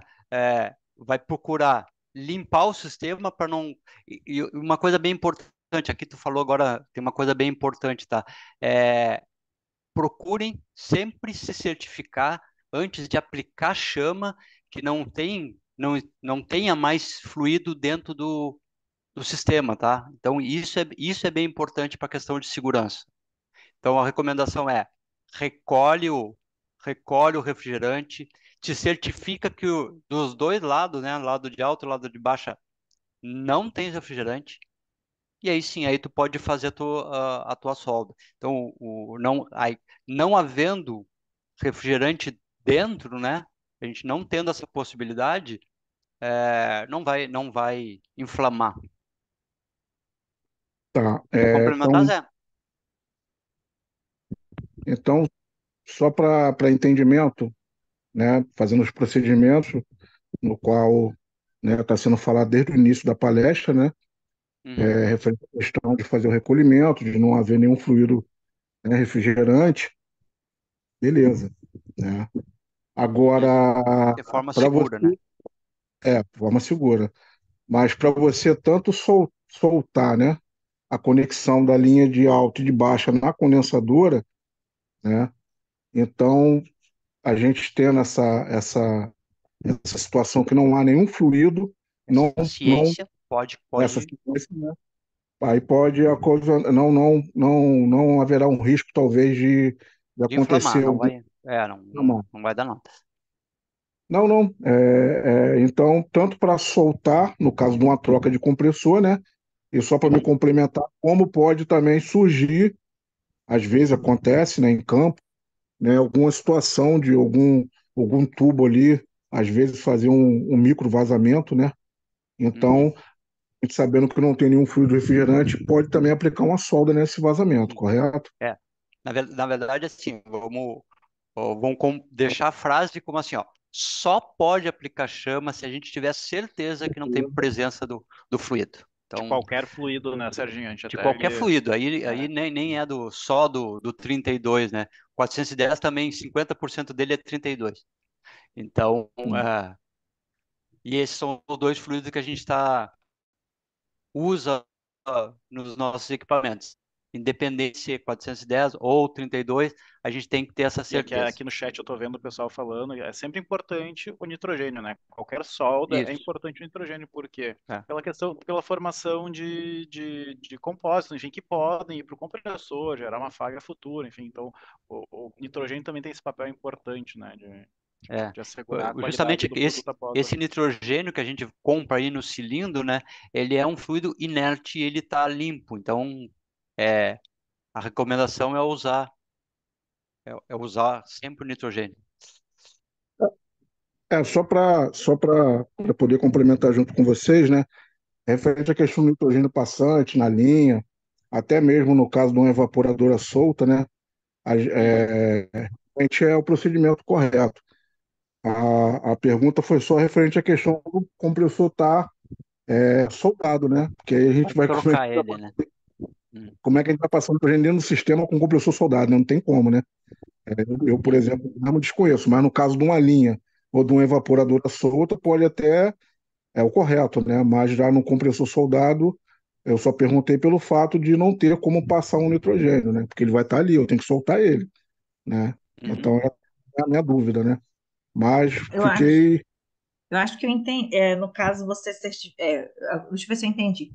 No caso, você de soldar o compressor para fazer a substituição e ter a certeza Sim, que não tem fluido lá dentro? Não, não, fluido, eu, eu vou ter que fazer o procedimento de recolhimento, tenho essa, essa ciência, né? A minha pergunta era se, mesmo fazendo esse, essa retirada, né, esse recolhimento, se poderia, se poderia acontecer algum risco de flammabilidade. A minha dúvida era É, essa. porque depois de fazer o recolhimento, se você vai, vai executar um processo de brasagem, temos mais dois passos de segurança para fazer. Fazer uma, uma pré-desidratação e passar nitrogênio. E aí então você eu vai teria que. passar por. Então, Porque então, a, a, o dispo... Hã? então, vamos lá. Então eu vou fazer um- uma desidratação com mão de vácuo, né? E eu vou jogar um nitrogênio com, com o compressor lá soldado. Seria isso? Mas ele vai estar com as válvulas abertas, desconectadas, vai entrar por um lado e sair pelo outro lado o nitrogênio, entendeu? Tá. Então, ok, então. Aí você vai ter certeza que não vai ter mais resíduo de R32, a não ser. Ah, sim, beleza. E também não vai formar nenhuma sujeira interna, né? Nenhuma oxidação. Sim.